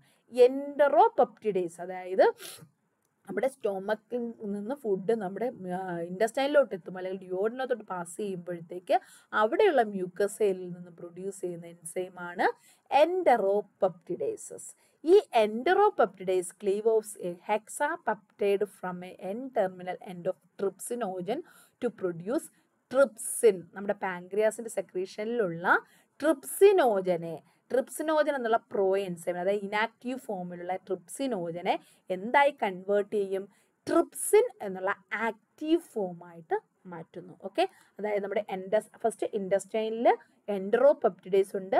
ഈ എൻഡ്രോപെപ്റ്റിഡേസ് എന്ത് ചെയ്യുന്നു? പാൻക്രിയാട്ടിക് നിന്ന് വരുന്ന ട്രിപ്സിനോജനെ കൺവേർട്ട് ചെയ്ത് ട്രിപ്സിനാക്കി മാറ്റുന്നു. ട്രിപ്സിനോജൻ ഇനം നമ്മൾ നേരത്തെ പെപ്സിനോജൻ പറഞ്ഞതുപോലെ പെപ്സിനാക്കി മാറ്റില്ല അതുപോലെ ട്രിപ്സിനോജനെ കൺവേർട്ട് ചെയ്ത് ട്രിപ്സിൻ ആക്കി മാറ്റുന്നു. ഓക്കെ ട്രിപ്സിൻ ആക്കി മാറ്റുന്നു. അത് ആക്റ്റീവ് ഫോം ആണ്. ഇനി ഈ ട്രിപ്സിൻ എന്ത് ചെയ്യും എന്നുള്ളതാണ് അടുത്ത് നോക്കാനുള്ളത്. ഇൻ ടേൺസ് ആക്ടിവേറ്റ്സ് അതർ അതിനൊപ്പം തന്നെ ഫസ്റ്റ് നമ്മുടെ എൻഡ്രോപെപ്റ്റിഡേസിന്റെ സഹായത്തോടെ കുറച്ച് ട്രിപ്സിനോജൻ ട്രിപ്സിനായി മാറുന്നു. ഇനി ഈ ട്രിപ്സിന തന്നെ എന്ത് ചെയ്യുന്നു? ബാക്കിയുള്ള ട്രിപ്സിനോജന്റെ കൂടെ എന്ത് ചെയ്യുന്നു? തിരിച്ച് വീണ്ടും ട്രിപ്സിനാക്കി മാറ്റുന്നു. Okay further trypsin is the മോ common activator of all other pancreatic cyanogens to produce active proteases, namely chymotrypsin, elastase and carboxypeptidase. അപ്പോൾ ഈ ട്രിപ്സിന്റെ സഹായത്തോടു കൂടി നമ്മുടെ പാങ്ക്രിയാറ്റിക് ജ്യൂസിലുള്ള മറ്റ് പ്രോട്ടിയേസസ് ആക്റ്റീവ് മറ്റേ ആക്റ്റീവ് പ്രോട്ടീൻസ് കൈമോട്രിപ്സിൻ എന്നും ഇലാസ്റ്റേസ് എന്നും കാർബോക്സി പെപ്റ്റിഡേസ് എന്ന് എയും ബിയും ഒക്കെ ഉണ്ട്. കാർബോക്സി പെപ്റ്റിഡേസ് എന്ന് പറഞ്ഞാൽ എന്താണ്? നമ്മുടെ പ്രോട്ടീന്റെ നമ്മൾ ആദ്യം പറഞ്ഞു കാർബോക്സിയും അമിനോ പെപ്റ്റിഡേസും എക്സി ടെർമിനൽ അമിനോ ആസിഡ്സിനെ ബ്രേക്ക് ചെയ്യുന്ന അവിടുത്തെ പെപ്റ്റൈഡ് ബോണ്ടിനെ ബ്രേക്ക് ചെയ്യുന്ന എൻസൈമാണ് കാർബോക്സി പെപ്റ്റിഡേസ് എന്ന് പറയുന്നത്. അതിനെയും ഒക്കെ ആക്ടിവേറ്റ് ചെയ്യിപ്പിക്കുക അല്ലെങ്കിൽ അതിനെ പ്രൊഡ്യൂസ് ചെയ്യുക. കൈമോട്രിപ്സിന് ഇലാസ്റ്റേസും കാർബോക്സി പെപ്റ്റിഡേസും ഒക്കെ പ്രൊഡ്യൂസ് ചെയ്യാൻ സഹായിക്കുന്ന എൻസൈം ആരാണ്? ട്രിപ്സിനാണ് ട്രിപ്സിന്റെ പ്രവൃത്തിയുടെ ഫലമായിട്ടാണ് ഇതെല്ലാം പ്രൊഡ്യൂസ് ചെയ്യുന്നത്. ഓക്കെ ഇനി ഈ പ്രൊഡ്യൂസ് ചെയ്ത കൈമോട്രിപ്സിൻ ഇലാസ്റ്റേസ് കാർബോക്സി പെപ്റ്റിഡിസ് ഇതൊക്കെ എങ്ങനെയാണ് ഫംഗ്ഷൻ ചെയ്യുന്നത് നമുക്ക് നോക്കാം. Specificity and action of pancreatics and proteases trypsin chymotrypsin and elastase are endopeptidase അതെല്ലാം എന്താണ്? എൻഡോപെപ്റ്റിഡേസ് ആണ്. Active at neutral P H ഇതെല്ലാം എന്താണ്? പക്ഷെ നമ്മുടെ പെപ്സിന്റെ പ്രത്യേകത അത് ലോ പി എച്ചിലും അതായത് ആസിഡിക് പി എച്ചിലും അത് എന്ത് ചെയ്യുന്നു? ലെസ് ദാൻ ടൂവിലും അത് സ്റ്റേബിൾ ആയിരുന്നു. പക്ഷെ ട്രിപ്സിനും കൈമോട്രിപ്സിനും ഇലാസ്റ്റേസ് എന്ന് പറയുന്നത് ന്യൂട്രൽ പി എച്ചിലാണ് അത് ഫങ്ഷൻ ചെയ്യുന്നത്. ആസിഡിക്കിലല്ല ന്യൂട്രൽ പി എച്ചിലാണ് ഈ gastric H C L is neutralized by pancreatic sodium bicarbonate in the intestine and this creates favorable pH for the action of proteases. അതായത് ഗ്യാസ്ട്രിക് കണ്ടൻസിൽ ഹൈ അസിഡിറ്റി ആണ്. അവിടെ P H കൂടുതലാണ്. അത് ഡിയോഡനത്തിലോട്ട് വരുമ്പോൾ പാങ്ക്രിയാറ്റിക് ജ്യൂസ് കൂടെ അവിടെ വരികയാണ്. അപ്പോൾ ഈ പാങ്ക്രിയാറ്റിക് ജ്യൂസിനകത്ത് എന്തുണ്ട്? സോഡിയം ബൈകാർബണേറ്റ് ഉണ്ട്. ഈ സോഡിയം ബൈകാർബണേറ്റ് എന്ത് ചെയ്യുന്നു? ഈ അസിഡിറ്റിയെ കുറയ്ക്കുന്നു. അസിഡിറ്റി കുറച്ച് അവിടെ ന്യൂട്രൽ പി എച്ച് കൊണ്ടുവരും സെവൻ പി എച്ചിലോട്ട് കൊണ്ടുവരും. ന്യൂട്രൽ പി എച്ച് കൊണ്ടുവരും. അപ്പോൾ അവിടെ എന്ത് ചെയ്യും? നമ്മുടെ ട്രിപ്സിനും കൈമോട്രിപ്സിനും ഇലാസ്റ്റേസും ഒക്കെ സ്റ്റേബിൾ ആയിട്ട് അവിടെ ഫങ്ഷൻ ചെയ്യും. Okay trypsin cleaves peptide bonds the carbonyl group of which contributed by arginine arginine lysine ഇതുപോലെയുള്ള ഗ്രൂപ്പ് ഇതുപോലെയുള്ള പ്രോട്ടീൻസ് ആർജിനിൻ ലൈസിൻ പോലുള്ള പ്രോട്ടീൻസുകളെ കാർബോണിൽ ഗ്രൂപ്പ് സിഒ ഗ്രൂപ്പ് അവിടെ എന്നുള്ള പോളിപെപ്റ്റൈഡുകളാണ് പ്രധാനമായിട്ട് ബ്രേക്ക് ചെയ്യുന്നത്. ആര്? നമ്മുടെ ട്രിപ്സിൻ ട്രിപ്സിൻ എന്നുള്ള ട്രിപ്സിൻ എന്നുള്ള എൻസൈം ചെയ്ത് amino acid serine is essential at active centre to bring out catalysis for all the three pancreatic process proteases hence these enzymes are referred to as serine proteases അതായത് നമ്മുടെ ഈ ട്രിപ്സിനും കൈമോട്രിപ്സിനും ലാസ്റ്റേസസും ഒക്കെ എന്ത് അതിന് എന്ത് വേണം അതിന് ഫങ്ഷൻ പ്രോപ്പറായിട്ട് ഫങ്ഷൻ ചെയ്യണമെങ്കിൽ സെറീൻ വേണം അതുകൊണ്ട് തന്നെ ഈ എൻസൈംസിന് എന്ത് പറയുന്നത്? സെറീൻ പ്രോട്ടീൻസ് അത്രയൊന്നും ഡീറ്റെയിൽ ആയിട്ട് നിങ്ങൾ പോകണമെന്നില്ല ജസ്റ്റ് നിങ്ങൾ ഈ എൻസൈംസും ജസ്റ്റ് ഈ ഒരു അസിഡിക് മീഡിയം ന്യൂട്രലൈസ് ചെയ്യുന്നതും പിന്നെ നമ്മുടെ ഈ ഗ്രൂപ്പുകൾ ഏതൊക്കെ പെപ്റ്റൈഡ് ബോണ്ടുകൾ ബ്രേക്ക് ചെയ്യുന്നുള്ളത് മാത്രം നിങ്ങൾ എഴുതിയാൽ മതിയാവും കേട്ടോ അല്ലാതെ ഒരുപാട് ഡീറ്റെയിൽ ആയിട്ട് സെറീൻ പ്രോട്ടീൻസ് ഒക്കെ നിങ്ങൾ അഞ്ച് മാർക്കിന്റെ ക്വസ്റ്റിനകത്ത് അത്രയും ഡീറ്റെയിൽ ആയിട്ടൊന്നും എഴുതണമെന്നില്ല എന്തൊക്കെ നിങ്ങൾക്ക് മനസ്സിലാവുന്നു? അത് മാത്രമായിട്ട് ജസ്റ്റ് ഒരു paragraph digestion of protein pancreatic proteases എങ്ങനെയാണ് ഡൈജഷൻ നടക്കുന്നത് എന്ന് മാത്രം ജസ്റ്റ് ഒരു പാരഗ്രാഫ് കൊടുത്താൽ മതി. അതല്ലാതെ ഇതെല്ലാം സെപ്പറേറ്റ് സെപ്പറേറ്റ് ആയിട്ട് എഴുതണമെന്നില്ല. പക്ഷെ നിങ്ങൾ കൊണ്ടുവേർഡ് ക്വസ്റ്റ്യൻസിന് വേണ്ടിയിട്ടാണ് ഞാനിത് മൊത്തം ഡീറ്റെയിൽ ആയിട്ട് വായിക്കുന്നത്. നെക്സ്റ്റ് കാർബോക്സ് ഇതിപ്പോൾ നമ്മളിപ്പോൾ എന്താ പറഞ്ഞത്? നമ്മുടെ എൻഡോ പെപ്റ്റിഡൈസസിന്റെ ആക്ഷനാണ് പറഞ്ഞത്. എന്റെ അടുത്ത് കാർബോക്സി പെപ്റ്റിഡൈസസ് പറയാം. The pancreatic carboxy peptidases A and B are metalloenzymes they are depend on zinc for their catalytic activity okay അതായത് കാർബോക്സി പെപ്റ്റിഡൈസസ് നമ്മളിവിടെ പറഞ്ഞല്ലോ നമ്മുടെ പാൻക്രിയാറ്റിക് ജ്യൂസിന്റെ ഫലമായിട്ട് പ്രൊഡ്യൂസ് ചെയ്യുന്ന കാർബോക്സി എ ആൻഡ് ബി ഉണ്ട്. Carboxy peptidases A and B അതിന് ഒരു പ്രത്യേകതയുണ്ട്. ഇത് പ്രോപ്പറായിട്ട് ഫങ്ഷൻ ചെയ്യണമെങ്കിൽ അതിന് എന്ത് മെറ്റലിന്റെ ആവശ്യമുണ്ട്? സിങ്ക് എന്ന മെറ്റലിന്റെ ആവശ്യമുണ്ട്. ഓക്കെ അതുകൊണ്ട് തന്നെ ഇതിന് മറ്റൊരു പേരിൽ അറിയപ്പെടുന്നു. സിങ്ക് പ്രോട്ടിയേസസ് എന്നാണ് പറയുന്നത്. Carboxy peptidases A and B A മറ്റൊരു പേരിൽ അറിയപ്പെടുന്നു. Zinc proteases because for the proper functioning it needs zinc അതുകൊണ്ട് തന്നെ സിങ്ക് പ്രോട്ടിയേസസ് എന്നാണ് പറയുന്നത്. They also possess certain degree of substrate specificity അതൊന്നും വേണ്ട. For example carboxy peptidases B acts on peptide bonds of carboxyl terminal amino acids the amino acid which is contributed by arginine or lysine ഇതെല്ലാം examples of protein ആണ്. ഇതിൽ carboxy carboxy terminal ആണ് എന്ത് act ചെയ്യുന്നത്? നമ്മുടെ carboxy peptidase B act ചെയ്ത് ഐ ഒരു ബോണ്ടാണ് ബ്രേക്ക് ചെയ്ത് അവിടെ ഡൈജഷൻ നടത്തുന്നത്. അതിന് പക്ഷേ എന്ത് വേണം? സിങ്കിന്റെ പ്രസൻസ് വേണം. അതിന്റെ സിങ്ക് പ്രോട്ടിയേസസ് എന്നാണ് ഇതിന് പറയുന്ന പേര്. Combined action of pancreatic proteases result in the formation of free amino acids and small peptides ഇങ്ങനെ പാങ്ക്രിയാറ്റിക് പ്രോട്ടിയേസസ് പാങ്ക്രിയാറ്റിക് ജ്യൂസിലുള്ള ട്രിപ്സിനും കൈമോട്രിപ്സിനും ഇലാസ്റ്റേസും കാർബോക്സി പെപ്റ്റൈഡേസസിന്റെ ആക്ഷന്റെ ഫലമായിട്ട് എന്തെന്ന് പ്രോട്ടീൻസിനെ ബ്രേക്ക് ചെയ്ത് പെപ്റ്റൈഡ് ബോണ്ടുകളെ ബ്രേക്ക് ചെയ്ത് അവിടുന്ന് ഫ്രീ അമിനോ ആസിഡ്സുകളും പിന്നെ സ്മോൾ പെപ്റ്റൈഡുകളും റിലീസ് ചെയ്യുന്നു. അങ്ങനെയാണ് അവിടെ ഡൈജഷൻ നടക്കുന്നത്. ഒന്നുകൂടെ ഒന്ന് നോക്കാം. പാങ്ക്രിയാറ്റിക് ജ്യൂസ് എന്ന് പറയുന്നത് നമ്മുടെ ഗ്യാസ്ട്രിക് കണ്ടന്റ് സ്റ്റൊമക്കിൽ നിന്നും ഡിയോഡിനത്തിലോട്ട് എത്തുന്ന സമയത്ത് ഡിയോഡനം അവിടെ സ്റ്റിമുലേറ്റ് ചെയ്യുകയും പാങ്ക്രിയാറ്റിക് ജ്യൂസ് അവിടെ സെക്രീറ്റ് ചെയ്യുകയും ചെയ്യുന്നു. ഈ പാങ്ക്രിയാറ്റിക് ജ്യൂസ് സെക്രീറ്റ് ചെയ്യാൻ വേണ്ടി സഹായിക്കുന്ന ഒരു എൻസൈം ഉണ്ട്. അതായത് നമ്മുടെ ഡിയോഡനത്തിൽ തന്നെ അവിടെ ഡിയോഡനത്തിന്റെ മ്യൂക്കസൽ സെൽസ് എൻട്രോപെപ്റ്റിഡേസ് എന്നുള്ള എൻസൈം പ്രൊഡ്യൂസ് ചെയ്യുന്നു. അങ്ങനെയാണ് എന്ത് ചെയ്യുന്നത്? നമ്മുടെ ഈ ഒരു എൻട്രോപെപ്റ്റിഡേസ് എന്ത് ചെയ്യുന്നു? നമ്മുടെ പാങ്ക്രിയാറ്റിക് ജ്യൂസിനകത്തുള്ള ട്രിപ്സിനോജനെ ട്രിപ്സിനാക്കി മാറ്റുന്നു. കുറച്ച് ട്രിപ്സിനോജനെ ട്രിപ്സിനാക്കി മാറ്റുന്നു. ഈ ആക്റ്റീവായ ട്രിപ്സിന് എന്ത് ചെയ്യുന്നു? വീണ്ടും ബാക്കിയുള്ള ട്രിപ്സിനോജനെ കൂടെ കൺവേർട്ട് ചെയ്യുന്നു. ഓക്കെ പിന്നെ നമ്മുടെ പാങ്ക്രിയാറ്റിക് ജ്യൂസിനകത്ത് മറ്റെന്തൊക്കെ എൻസൈംസ് ഉണ്ട്? ആക്റ്റീവ് ഫോം ആയിട്ടുള്ള കൈമോട്രിപ്സിനുണ്ട് ഇലാസ്റ്റേസ് ഉണ്ട് കാർബോക്സി പെപ്റ്റിഡേസ് ഉണ്ട്. ഇതെല്ലാം ഇതിന്റെ പ്രത്യേകത എന്ന് പറയുന്നത് ഇതെല്ലാം ന്യൂട്രൽ പി എച്ചിൽ സ്റ്റേബിൾ ആയിട്ടുള്ള ട്രിപ്സിനും കൈമോട്രിപ്സിനും ഇലാസ്റ്റേസും എൻഡോ പെപ്റ്റിഡേസും എല്ലാം. ഇതെല്ലാം എന്ത് ചെയ്യുന്നു? നമ്മുടെ ന്യൂട്രൽ പി എച്ചിൽ ആക്ടിവേറ്റ് ആണ്. പക്ഷേ ഗ്യാസ്ട്രിക് കണ്ടന്റ് അസിഡിറ്റി ആണെങ്കിലും എങ്ങനെയാണ് ഇത് ന്യൂട്രൽ ആകുന്നത്? പാങ്ക്രിയാറ്റിക് ജ്യൂസിനകത്ത് സോഡിയം ബൈകാർബണേറ്റ് ഉണ്ട്. ഈ ഫുഡും ഈ പാങ്ക്രിയാറ്റിക് ജ്യൂസുമായിട്ട് മിക്സ് ചെയ്യുമ്പോൾ സോഡിയം ബൈകാർബണേറ്റ് അവിടെ ആഡ് ചെയ്യും. അങ്ങനെ എന്ത് ചെയ്യുന്നു? പി എച്ച് ന്യൂട്രൽ ആകുന്നു. അങ്ങനെ ഈ എൻസൈംസ് എല്ലാം പ്രോപ്പറായിട്ട് ഫങ്ഷൻ ചെയ്ത് പ്രോട്ടീനിലുള്ള പെപ്റ്റൈഡ് ബോണ്ടുകളെല്ലാം ബ്രേക്ക് ചെയ്യുന്നു. ഇനി കാർബോക്സി പെപ്റ്റിഡൈസിന്റെ ഒരു പ്രത്യേകതയാണ് അതിന്റെ ആക്റ്റീവ് നോർമൽ ആക്ടിവിറ്റിക്ക് സിങ്കിന്റെ പ്രസൻസ് വേണം. അതുകൊണ്ട് തന്നെ സിങ്ക് പ്രോട്ടിയേസസ് എന്നാണ് പേര്. പറയുന്നത്. അപ്പൊ ഇത്രയും ഇതിന്റെ എല്ലാം ഈ ഒരു കംപ്ലീറ്റ് എല്ലാ എൻസൈംസിന്റെ ഫലമായിട്ട് പ്രോട്ടീൻസ് പ്രോട്ടീൻസിലുള്ള പെപ്റ്റൈഡ് ബോണ്ടുകൾ ബ്രേക്ക് ചെയ്ത് ഫ്രീ അമിനോ ആസിഡ്സും സ്മോൾ പെപ്റ്റൈഡുകളും അവിടെ ഫോം ചെയ്യുന്നു. അത്രയാണ് പാങ്ക്രിയാറ്റിക് എൻസൈംസ് ഇനി എങ്ങനെയാണ് പ്രോട്ടീൻസ് ഡൈജഷൻ ഇൻ സ്മോൾ ഇൻഡസ്റ്റൈനിൽ നടക്കുന്നത്? സ്മോൾ ഇൻഡസ്റ്റൈനിൽ എൻസൈംസ് എങ്ങനെയാണ് പ്രോട്ടീൻ ഡൈജഷൻ ചെയ്യുന്നതെന്ന് നോക്കാം നമുക്ക്. അപ്പോൾ അടുത്ത് എന്ത് ചെയ്യുന്നു ഡിയോണിനത്തിൽ നിന്ന് ഫുഡ് പാങ്ക്രിയാറ്റിക് ജ്യൂസുമായിട്ട് ചേർന്ന് കുറച്ച് ഡൈജഷൻ നടന്നു. ഇനി ബാക്കി കുറച്ച് ഡൈജഷൻ നടക്കാണ്ട് അത് അങ്ങോട്ട് പോകും? നമ്മുടെ ഇൻഡസ്റ്റൈന്റെ ബാക്കി പാർട്ടിലോട്ട് പോവുകയാണ്. അവിടെയും ഡൈജഷൻ നടക്കുന്നുണ്ട് protein luminal surface of intestinal epithelial cells അതായത് നമ്മുടെ ഇൻഡസ്റ്റൈന്റെ ഇൻസൈഡ് ഉള്ള സർഫസ് അവിടെ എന്തുണ്ട്? അമിനോ പെപ്റ്റിഡൈസസും ഡൈപെപ്റ്റിഡൈസസ് എന്നുള്ള ഉണ്ട്. അമിനോ പെപ്റ്റിഡൈസസും ഡൈപെപ്റ്റിഡൈസസും കാണപ്പെടുന്നു amino പെപ്റ്റിഡൈസസും is a non specific exopeptidase എന്ന് വെച്ചാൽ എൻസൈം തന്നെയാണ്. നോൺ സ്പെസിഫിക് എക്സോപെപ്റ്റിഡേസ് എക്സോപെപ്റ്റിഡേസ് എന്ന് പറഞ്ഞാൽ എന്താണ്? എൻഡോപെപ്റ്റിഡേസ് എക്സോപെപ്റ്റിഡേസ് ആദ്യം പറഞ്ഞു. എൻഡോ മീൻസ് പ്രോട്ടീന്റെ നടുക്കുള്ള ഇന്റേണൽ പെപ്റ്റൈഡ് ബോണ്ട് ബ്രേക്ക് ചെയ്യുന്നു. എക്സോ മീൻസ് ഔട്ട്സൈഡിലുള്ള ബോണ്ട് ബ്രേക്ക് ചെയ്യുന്നു. ഇവിടെ അമിനോ പെപ്റ്റിഡൈസ് എന്ന് പറഞ്ഞാൽ എന്താണ്? Amino terminal N terminal amino acids N terminal amino ആസിഡ്സിനെ break ചെയ്യുന്ന അവിടുത്തെ പെപ്റ്റൈഡ് ബോണ്ടിനെ ബ്രേക്ക് ചെയ്യുന്ന എൻസൈമാണ് അമിനോ പെപ്റ്റിഡേസ് എന്ന് പറയുന്നത്. ഓക്കെ അതെന്ത് ചെയ്യുന്നു? Aminopeptidase repeatedly cleaves the N terminal amino acids one by one to produce free amino acids ഈ N terminal break ചെയ്യുന്നു. സ്മോൾ ഇൻഡസ്ട്രിയലിലാണ് എൻ ടെർമിനലിനെ ബ്രേക്ക് ചെയ്യുന്നത്. ഓക്കെ അവിടെ കാർബോക്സി ടെർമിനൽ എവിടെ ബ്രേക്ക് ചെയ്തു? നമ്മുടെ ഡിയോഡിനത്തിൽ നിന്ന് പാങ്ക്രിയാറ്റിക് ജ്യൂസിൽ നിന്നുള്ള കാർബോക്സി പെപ്റ്റിഡൈസസ് എന്നെ അവിടെ സഹായിച്ചു. കാർബോക്സി ടെർമിനൽ അവിടെ ബ്രേക്ക് ചെയ്തു. ഇവിടെ ഇൻഡസ്ട്രിയൽ എൻസൈംസ് ആയ അമിനോ പെപ്റ്റിഡൈസ് ആണ് എന്ത് ചെയ്യുന്നത്?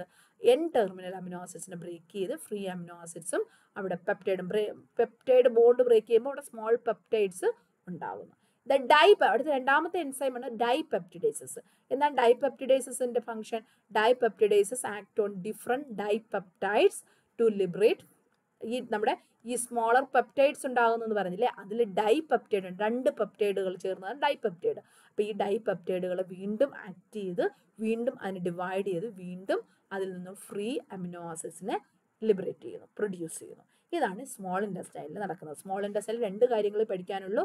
അതിന്റെ ഇൻഡസ്റ്റൈനൽ എപ്പിത്തീലിയൽ സെൽസിൽ എന്തുണ്ട്? അമിനോ പെപ്റ്റിഡേസസും ഡൈ പെപ്റ്റിഡേസസും എന്നുള്ള രണ്ട് എൻസൈം ഉണ്ട്. അമിനോ പെപ്റ്റിഡേസസ് നമ്മുടെ പ്രോട്ടീന്റെ എൻ ടെർമിനൽ അമിനോ ആസിഡ്സിനെ ബ്രേക്ക് ചെയ്ത് അതിൽ നിന്ന് ഫ്രീ അമിനോ ആസിഡ്സ് ലിബറേറ്റ് ചെയ്യുന്നു. ഒപ്പം സ്മോളർ പെപ്റ്റൈഡ്സും പ്രൊഡ്യൂസ് ചെയ്യുന്നു. ഇനി ഈ സ്മോളർ പെപ്റ്റൈഡ്സ് എന്ന് പറയുമ്പോൾ അതിൽ ഡൈ പെപ്റ്റൈഡ്സ് ഉണ്ടാവും. ഈ ഡൈ പെപ്റ്റൈഡ്സിനെ ബ്രേക്ക് ചെയ്യാൻ സഹായിക്കുന്ന എൻസൈമാണ് ഡൈപെപ്റ്റിഡേസസ്. ഈ ഡൈപെപ്റ്റിഡേസിനെ പെപ്റ്റൈഡ്സിനെ ബ്രേക്ക് ചെയ്ത് അതിൽ നിന്നും ഫ്രീ അമിനോ ആസിഡ്സിനെ ലിബറേറ്റ് ചെയ്യുന്നു. ഇങ്ങനെയാണ് പ്രോട്ടീൻ ഡൈജഷൻ നടക്കുന്നത്. ഓക്കെ അപ്പോൾ ഇത്രയാണ് മൂന്ന് സ്റ്റേജസ് പ്രോട്ടീൻ എന്താണെന്ന് നമ്മൾ പറഞ്ഞു ഏതൊക്കെ എൻസൈംസ് ആണെന്ന് പറഞ്ഞു സ്റ്റൊമക്കിൽ എന്തൊക്കെ കാര്യങ്ങൾ നടക്കുന്നു എന്ന് പറഞ്ഞു പ്രോട്ടീൻ പാങ്ക്രിയാറ്റിക് ജ്യൂസിൽ എന്തൊക്കെയുണ്ട് അതെങ്ങനെയാണ് ഡൈജസ്റ്റ് ചെയ്യുന്നതെന്ന് പറഞ്ഞു അടുത്ത സ്മോൾ ഇന്റസ്റ്റൈനിൽ ഏതൊക്കെ എൻസൈംസ് ആണ് എങ്ങനെ ഡൈജഷൻ നടക്കുക അപ്പോൾ ഇത്രയും എഴുതി കഴിഞ്ഞാൽ it's more than enough for five marks okay ഇനി അടുത്ത് മൂന്ന് രണ്ട് മൂന്ന് ടെർമിനോളജീസ് ആണ് ജസ്റ്റ് ഫോർ ഇൻഫർമേഷൻ പറയുന്നതേ ഉള്ളൂ.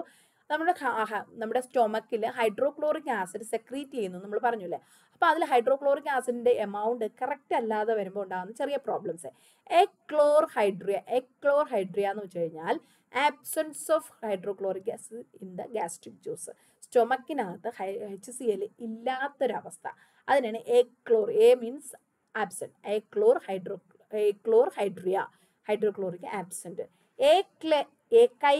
Gastrica sorry achylia achylia gastrica എന്ന് പറഞ്ഞാൽ gastric juice lacks in both acid and enzyme അവിടെ ഗ്യാസ്ട്രിക് ജ്യൂസ് ഉണ്ട് പക്ഷേ അവിടെ ഒപ്പം ആസിഡും ഇല്ല എൻസൈമും ഇല്ല അതിനകത്ത്. അതാണ് എക്കൈലിയ ഗാസ്ട്രിക്ക എന്ന് പറയുന്നത്. ഇനി ഹൈപ്പർ ക്ലോർ ഹൈഡ്രിയ എന്ന് പറഞ്ഞു കഴിഞ്ഞാൽ increased secretion increase high secretion of gastric acid അതാണ് ഹൈപ്പർ ക്ലോർ ഹൈഡ്രിയ എന്ന് പറയാം. അപ്പോൾ ഈ മൂന്ന് ടെർമിനോളജീസ് ജസ്റ്റ് ഒന്ന് ഓർത്തിരിക്കാം ഓക്കെ അപ്പം ഞാൻ ഈ നേരത്തെ പറഞ്ഞ പ്രോട്ടീൻ ഡൈജഷൻ തന്നെ ഷോർട്ട് നോട്ടാണ് ഇവിടെ വന്ന് നമ്മൾ നേരത്തെ വായിച്ചത് ടെക്സ്റ്റ് ബുക്കിനകത്തുള്ളതാണ് ഇവിടെ നമ്മൾ ഈ ഞാൻ ഈ കാണിക്കുന്ന സ്ലൈഡ് എന്ന് പറയുന്നത് ഷോർട്ട് നോട്ട്സ് ആണ്. നിങ്ങൾക്ക് വേണമെങ്കിൽ ഒരു റെഫറൻസിന് വേണ്ടിയിട്ട് ഒന്നുകൂടെ ഒന്ന് വായിച്ചു നോക്കാം. ഓക്കെ പെപ്റ്റൈഡ് ഇവിടെ ഞാൻ പറഞ്ഞ ഓർമ്മയുണ്ടോ? ഇതാണ് പ്രോട്ടീൻ പ്രോട്ടീനകത്ത് അമിനോ ആസിഡ്സുകൾ ഇങ്ങനെ കാണപ്പെടുന്നു. ഇതിനിടയ്ക്കുള്ള ബോണ്ട് ഇതിനെയാണ് എന്ത് പറയുന്നത്? പെപ്റ്റൈഡ് ബോണ്ട് എന്ന് പറയുന്നത്. നമ്മുടെ ഡൈജഷൻ എന്ന് പറയുമ്പോൾ ഈ പെപ്റ്റൈഡ് ബോണ്ടുകൾ ബ്രേക്ക് ചെയ്ത് ഈ അമിനോ ആസിഡ്സിനെ ഫ്രീ ആക്കി വിടുക. അതാണ് നമ്മൾ ഡൈജഷൻ എന്ന് ഉദ്ദേശിക്കുന്നത്. അതായത് ഇതുപോലെ ഇങ്ങനെ പെപ്റ്റൈഡ് ബോണ്ടുകൾ ബ്രേക്ക് ചെയ്ത് ഫ്രീ അമിനോ ആസിഡ്സ് ആക്കി മാറ്റി വിടുക. അതിന് സഹായിക്കുന്ന എൻസൈംസിനെയാണ് പെപ്റ്റിഡേസസ് എന്ന് പറയുന്നത്. മെയിനായിട്ട് രണ്ട് ടൈപ്പ് ഉണ്ട്. എൻഡോ പെപ്റ്റിഡേസും എക്ടോ പെപ്റ്റിഡേസും ഉണ്ട്. പിന്നെ അതിനകത്ത് എൻസോ പെപ്റ്റിഡേസിനകത്ത് അമിനോ പെപ്റ്റിഡേസും കാർബോക്സി പെപ്റ്റിഡേസും ഉണ്ട്. ഇതെല്ലാം നമ്മൾ എക്സ്പ്ലെയിൻ ചെയ്തതാണ്. ഓക്കെ ഇത് എവിടെയൊക്കെ ഡൈജഷൻ സലൈവയുമായിട്ട് മിക്സ് ചെയ്ത് സ്റ്റൊമക്കിൽ വരുന്നു. അവിടെ എച്ച് സി എല്ലും പെപ്സിനും ഉണ്ട്. അത് കഴിഞ്ഞിട്ട് അത് ഡിയോഡനത്തിലോട്ട് വരുന്നു. ഡിയോഡനത്തിൽ വരുമ്പോൾ പാങ്ക്രിയാറ്റിക് ജ്യൂസുമായിട്ട് മിക്സ് ചെയ്യുന്നു. പാങ്ക്രിയാറ്റിക് ജ്യൂസുമായിട്ട് മിക്സ് ചെയ്യുന്നു. അവിടെ ഡൈജഷൻ നടക്കുന്നു. അതിനുശേഷം അത് ഇൻഡസ്റ്റൈനിൽ വരുന്നു. ഇൻഡസ്റ്റൈനിൽ എൻസൈംസ് അമിനോ പെപ്റ്റിഡേസും ഡൈ പെപ്റ്റിഡേസസും ചേർന്നിട്ട് പിന്നെ എന്ത് ചെയ്യുന്നു? ഡൈജഷൻ കംപ്ലീറ്റ് ഡൈജഷൻ നടക്കുന്നു അതിനുശേഷം അബ്സോർഷൻ നടക്കുന്നു. ബാക്കി വേസ്റ്റ് എക്സ്ക്രീറ്റ് ചെയ്യുന്നു. ഇത്രയാണ് അതിന്റെ ഒരു പ്രോസസ്സ് എന്ന് പറയുന്നത്. അപ്പോൾ മൗത്തിൽ നോ എൻസൈംസ് സ്റ്റൊമക്കിൽ പെപ്സിനും റെനിനും ഹൈഡ്രോക്ലോറിക് ആസിഡും ഹൈഡ്രോക്ലോറിക് ആസിഡ് എൻസൈം അല്ല സ്റ്റിൽ അത് ഡൈജഷന് സഹായിക്കുന്നുണ്ട് അത്രയേ ഉള്ളൂ. പാങ്ക്രിയാസിൽ ട്രിപ്സിനുണ്ട് ഉണ്ട് ഇലാസ്റ്റേസ് ഉണ്ട് കാർബോക്സി പെപ്റ്റിഡേസ് എയും ബിയും ഉണ്ട്. ഇൻഡസ്റ്റൈനിൽ അമിനോ പെപ്റ്റിഡേസും ഡൈപെപ്റ്റിഡേസും അപ്പോൾ ഇത്രയാണ് എൻസൈംസ് വരുന്നത്. പിന്നെ അതിന്റെ ഓരോ സ്റ്റേജ് ഫുഡ് മൗത്തിൽ എന്ത് സംഭവിക്കുന്നു ഡൈജഷനിൽ എന്ത് സംഭവി മീൻസ് സ്റ്റോമക്കിൽ എന്ത് സംഭവിക്കുന്നു സ്റ്റോമക്കിൽ എങ്ങനെയാണ് അത് ഫങ്ഷൻ ചെയ്യുന്നത് പിന്നെ പെപ്സിന് എങ്ങനെയാണ് സഹായിക്കുന്നത് റെയിനിന് എങ്ങനെയാണ് ആക്ട് ചെയ്യുന്നത് പിന്നെ പാങ്ക്രിയാറ്റിക് എൻസൈംസ് സെക്രീറ്റിനും കോളിസിസ്റ്റൈൻ കൈൻഡിന്റെ സഹായം എൻഡോപെപ്റ്റിഡേസസ് എന്ത് ചെയ്യുന്നു പിന്നെ എക്സോപെപ്റ്റിഡേസസ് എന്ത് ചെയ്യുന്നു പാങ്ക്രിയാറ്റിക് പെപ്റ്റിഡേസസ് അതൊന്നുകൂടെ അതിന്റെ ലിസ്റ്റ് ഔട്ട് ചെയ്യുന്നു. അങ്ങനെ ഷോർട്ട് ഫോമിൽ ട്രിപ്സിൻ എന്താണ് ഹൈമോട്രിപ്സിന് ഇലാസ്റ്റിസിന്റെ ഫംഗ്ഷൻ എന്താണ്? കാർബോക്സി പെപ്റ്റിഡേസസ് ഏതൊക്കെയാണ് overview of protein digestion intestinal enzymes ഏതൊക്കെയാണ്? ഓക്കെ അപ്പോൾ അതിന്റെ ഫങ്ഷൻസ് അങ്ങനെ എത്ര ഒരു സിമ്പിൾ ഫോമിൽ പ്രസന്റ് ചെയ്തിരിക്കുന്ന ഒരു നോട്ടാണ് വേണമെങ്കിൽ നിങ്ങൾക്ക് ഒന്നുകൂടെ ഇതൊന്നും കൂടെ നോക്കാം വായിച്ചു നോക്കാം. അപ്പോൾ ഡൈജഷൻ ഓഫ് പ്രോട്ടീൻ നമ്മളിവിടെ കംപ്ലീറ്റ് ചെയ്യാൻ നമ്മൾ ഇനി ഡൈജഷൻ ഓഫ് പ്രോട്ടീൻ എക്സ്പ്ലെയിൻ ചെയ്യുന്നതല്ല. എന്തെങ്കിലും ഡൗട്ട് ഉണ്ടെങ്കിൽ നിങ്ങൾ മെൻഷൻ ചെയ്യുക. ഞാനത് എക്സ്പ്ലെയിൻ ചെയ്തു തരാം. അതല്ല എങ്കിൽ നമ്മൾ ഇനി ക്വസ്റ്റ്യൻ പേപ്പർ കാരണം ഡൈജഷൻ ഓഫ് പ്രോട്ടീൻ വളരെ ഇമ്പോർട്ടന്റ് ആണ്. റിപ്പീറ്റഡ് ആയിട്ട് ചോദിക്കുന്നതാണ്. ഇനി നമുക്ക് പഠിക്കാനുള്ള മറ്റൊരു ക്വസ്റ്റ്യൻ ആണ്. ഓറൽ ഗ്ലൂക്കോസ് ടോളറൻസ് ടെസ്റ്റ് അത് ചിലപ്പോൾ ജി ടി ടി എന്ന് ഗ്ലൂക്കോസ് ടോളറൻസ് ടെസ്റ്റ് എന്ന് പറഞ്ഞ് ചോദിക്കാം. ജി ടി ടി എന്ന് പറഞ്ഞ് ചോദിക്കാം. ഒ ജി ടി ടി എന്ന്. അതായത് ഓറൽ ഗ്ലൂക്കോസ് ടോളറൻസ് ടെസ്റ്റ് അത് അഞ്ച് മാർക്കിൽ പല പ്രാവശ്യം ചോദിച്ചിട്ടുള്ള ഒരു ക്വസ്റ്റ്യൻ ആണ്. ഓറൽ ഗ്ലൂക്കോസ് ടോളറൻസ് ടെസ്റ്റ് അല്ലെങ്കിൽ G T T glucose tolerance test അത് നമുക്ക് എന്താണെന്ന് നോക്കാം. അതെങ്ങനെയാണ് ചെയ്യുന്നത്? അതായത് നമ്മൾ ആദ്യമേ അറിഞ്ഞിരിക്കേണ്ടത് ഗ്ലൂക്കോസ് ടോളറൻസ് ടെസ്റ്റ് എന്ന് പറഞ്ഞാൽ നമ്മുടെ ഷുഗറിന്റെ ലെവൽ അതായത് നമ്മുടെ ഷുഗറിന്റെ അബ്സോർഷൻ എങ്ങനെയാണ് കറക്റ്റായിട്ട് നടക്കുന്നുണ്ടോ അത് പ്രോപ്പർ ലെവലാണ് അതായത് നമുക്ക് ഡയബറ്റീസ് ഉണ്ടോ ഇല്ലയോ എന്ന് കണ്ടുപിടിക്കാൻ വേണ്ടിയിട്ടുള്ള ഒരു ടെസ്റ്റാണ് ഗ്ലൂക്കോസ് ടോളറൻസ് ടെസ്റ്റ് അല്ലെങ്കിൽ ഓറൽ ഗ്ലൂക്കോസ് ടോളറൻസ് ടെസ്റ്റ് എന്ന് പറയുന്നത്. Diagnosis of diabetes can be made on the basis of individual's response. To the oral glucose load commonly referred to as oral glucose tolerance test എന്നാണ് പറയുന്നത്. അതായത് നമുക്ക് diabetes ഉണ്ടോ എന്ന് അറിയാൻ വേണ്ടിയിട്ട് നമ്മൾ ഓറലി ഷുഗർ എടുത്ത് അല്ലെങ്കിൽ ഗ്ലൂക്കോസ് കഴിച്ചുകൊണ്ട് ചെയ്യുന്ന ഒരു ടെസ്റ്റാണിത് അപ്പോൾ അതെങ്ങനെയാണ് ചെയ്യുന്നതെന്നും അതെങ്ങനെയാണ് അനാലിസിസ് ചെയ്യുന്നതെന്നൊക്കെ നമുക്ക് അറിഞ്ഞിരിക്കണം. അഞ്ച് മാർക്കിന് ചോദിക്കുമ്പോൾ ഇതെല്ലാം കംപ്ലീറ്റ് ആയിട്ട് നമ്മൾ എഴുതേണ്ടി വരും. ആദ്യം നമുക്ക് എന്താണ് പ്രിപ്പറേഷൻ നോക്കാം. Preparation of the patient for G T T the person should have been taking carbohydrate rich diet for the at least three days prior to the test അതായത് കഴിഞ്ഞ ദിവസങ്ങളിലൊക്കെ ആഹാരം അതായത് ഫാസ്റ്റിംഗ് കണ്ടിന്യൂസ് ഫാസ്റ്റിംഗ് ഇരുന്ന ആൾക്കാരായിരിക്കരുത്. Normal diet normal carbohydrate കൂടുതൽ അടങ്ങിയ glucose കൂടുതൽ അടങ്ങിയ ആഹാരങ്ങൾ കഴിഞ്ഞ മൂന്ന് ദിവസങ്ങളിലൊക്കെ കഴിച്ചിട്ടുള്ള ഒരാൾ ആയിരിക്കണം. വരേണ്ടത് അല്ല എങ്കിൽ ഗ്ലൂക്കോസിന്റെ ടെസ്റ്റ് ചെയ്യുമ്പോൾ അത് റോങ് ആയിട്ട് കാണിക്കും. സാധാരണ ഡയറ്റ് കഴിക്കുന്ന ഒരാൾ ആയിരിക്കണം. All drugs known to influence carbohydrate metabolism should be dis di- discontinued for at two days. അതായത് കാർബോഹൈഡ്രേറ്റ് മെറ്റബോളിസത്തിനെ തടയുന്ന ചില ഡ്രഗ്സ് എന്തെങ്കിലും ഡ്രഗ്സ് എന്തെങ്കിലും കഴിക്കുന്നുണ്ടെങ്കിൽ കാർബോഹൈഡ്രേറ്റ് മെറ്റബോളിസത്തിനെ സ്റ്റോപ്പ് ചെയ്യുന്ന അല്ലെങ്കിൽ അതിനെ ഇൻഫ്ലുവൻസ് ചെയ്യുന്ന അത് കൂട്ടുകയോ കുറയ്ക്കുകയോ ചെയ്യുന്ന എന്തെങ്കിലും ഡ്രഗ്സ് കഴിക്കുന്നുണ്ടെങ്കിൽ അത് സ്റ്റോപ്പ് ചെയ്തിരിക്കണം. ഓക്കെ അതുപോലെ ഈ ടെസ്റ്റ് ചെയ്യുന്നതിന് തൊട്ട് മുന്നേ ഭയങ്കരമായിട്ടുള്ള സ്റ്റേണസ് ആയിട്ടുള്ള എക്സസൈസ് ഒന്നും ചെയ്തിട്ടുണ്ടാകാൻ പാടില്ല. On the previous day of the test should avoid strenuous exercise എന്തുകൊണ്ടാണ്? എക്സസൈസ് അധികം ചെയ്യുമ്പോൾ ഡെഫിനറ്റ്ലി അവിടുത്തെ ഷുഗർ ലെവൽ കുറഞ്ഞിട്ടുണ്ടാവും. അപ്പോൾ നമുക്ക് കറക്റ്റായിട്ട് ടെസ്റ്റ് ചെയ്ത് റിസൾട്ട് എടുക്കാൻ പറ്റത്തില്ല. നന്നായിട്ട് കാർബോഹൈഡ്രേറ്റ് റിച്ച് ഡയറ്റൊക്കെ കഴിഞ്ഞ രണ്ട് മൂന്ന് ദിവസങ്ങൾക്കൊക്കെ കഴിച്ചിട്ടുള്ളവരായിരിക്കണം. പിന്നെ എന്ത് ചെയ്യണം? നമ്മുടെ എന്തെങ്കിലും കാർബോഹൈഡ്രേറ്റ് മെറ്റബോളിസിനെ ഇൻഫ്ലുവൻസ് ചെയ്യുന്ന ഏതെങ്കിലും ഡ്രഗ്സ് കഴിക്കുന്നുണ്ടെങ്കിൽ അത് സ്റ്റോപ്പ് ചെയ്തിട്ടുണ്ടാകണം. അല്ലെങ്കിൽ അതുപോലെ avoid exercise avoid strenuous exercise in the previous ഡേയോ ആയിരിക്കണം എന്നിട്ട് നെക്സ്റ്റ് ഡേ ടെസ്റ്റ് ചെയ്യാൻ പോകുമ്പോൾ അതിന്റെ തലേ ദിവസം രാത്രി എന്തുണ്ടാവണം? ഫാസ്റ്റിംഗ് സ്റ്റേറ്റിലും ആയിരിക്കാം. രാത്രി മാത്രം. She should be in an overnight fast at least ten hour fasting state ഇപ്പം ഇന്ന് രാവിലെ അഞ്ച് മണിക്ക് പത്ത് മണിക്ക് ടെസ്റ്റ് ചെയ്യുകയാണെങ്കിൽ രാത്രി മുതൽ രാത്രി overnight fasting at least ten hour എങ്കിലും ഫാസ്റ്റിംഗ് ഇരുന്ന ഒരാൾ ആയിരിക്കണം. Course of G T T the person should be comfortably seated and should refrain from smoking and exercise അതുപോലെ ടെസ്റ്റ് ചെയ്യുന്ന സമയത്ത് സ്മോക്കിങ്ങോ എക്സസൈസ് ഇങ്ങനെയുള്ള കാര്യങ്ങളിലൊക്കെ അതൊക്കെ അവോയ്ഡ് ചെയ്ത് പ്രോപ്പർലി സീറ്റഡ് ആയിരിക്കണം. മീൻസ് ഓക്കെ ഇത്രയാണ് പ്രിപ്പറേഷൻ എന്ന് പറയുന്നത്. ഇനി എങ്ങനെയാണ് ഇത് ചെയ്യുന്നത്? ഇപ്പം ഇന്നലെ രാത്രി ഫാസ്റ്റിംഗ് എടുത്തു ഇന്ന് ടെസ്റ്റിന് വന്നു. നമ്മൾ രാവിലെ ഒരു പ്രിഫറബിൾ ടൈം എന്ന് പറഞ്ഞാൽ രാവിലെ ഒൻപത് മുതൽ പതിനൊന്ന് മണിക്കകത്താണ് ഈ ഒരു ടെസ്റ്റ് ചെയ്യാൻ correct time glucose tolerance test ചെയ്യാൻ കറക്റ്റ് ടൈം എന്നാണ്. ഫാസ്റ്റിംഗ് ബ്ലഡ് ആദ്യം നമ്മൾ പേഷ്യന്റ് ഫാസ്റ്റിങ്ങിൽ വന്നു കഴിയുമ്പോൾ ആദ്യം ഫാസ്റ്റിംഗ് ബ്ലഡ് എടുക്കണം. ഫാസ്റ്റിംഗ് ബ്ലഡും യൂറിനും കളക്ട് ചെയ്യണം. ഫാസ്റ്റിംഗ് ബ്ലഡ് എടുത്ത് യൂറിനും കളക്ട് ചെയ്യണം.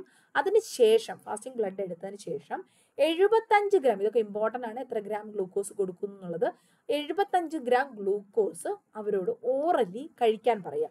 വെള്ളത്തിൽ കലക്കിയിട്ട് ഒരു മുന്നൂറ് എം എൽ വെള്ളത്തിൽ കലക്കിയിട്ട് അഞ്ച് മിനിറ്റ് കൊണ്ട് അവരോട് അത് കുടിക്കാൻ പറയാം. മനസ്സിലായോ?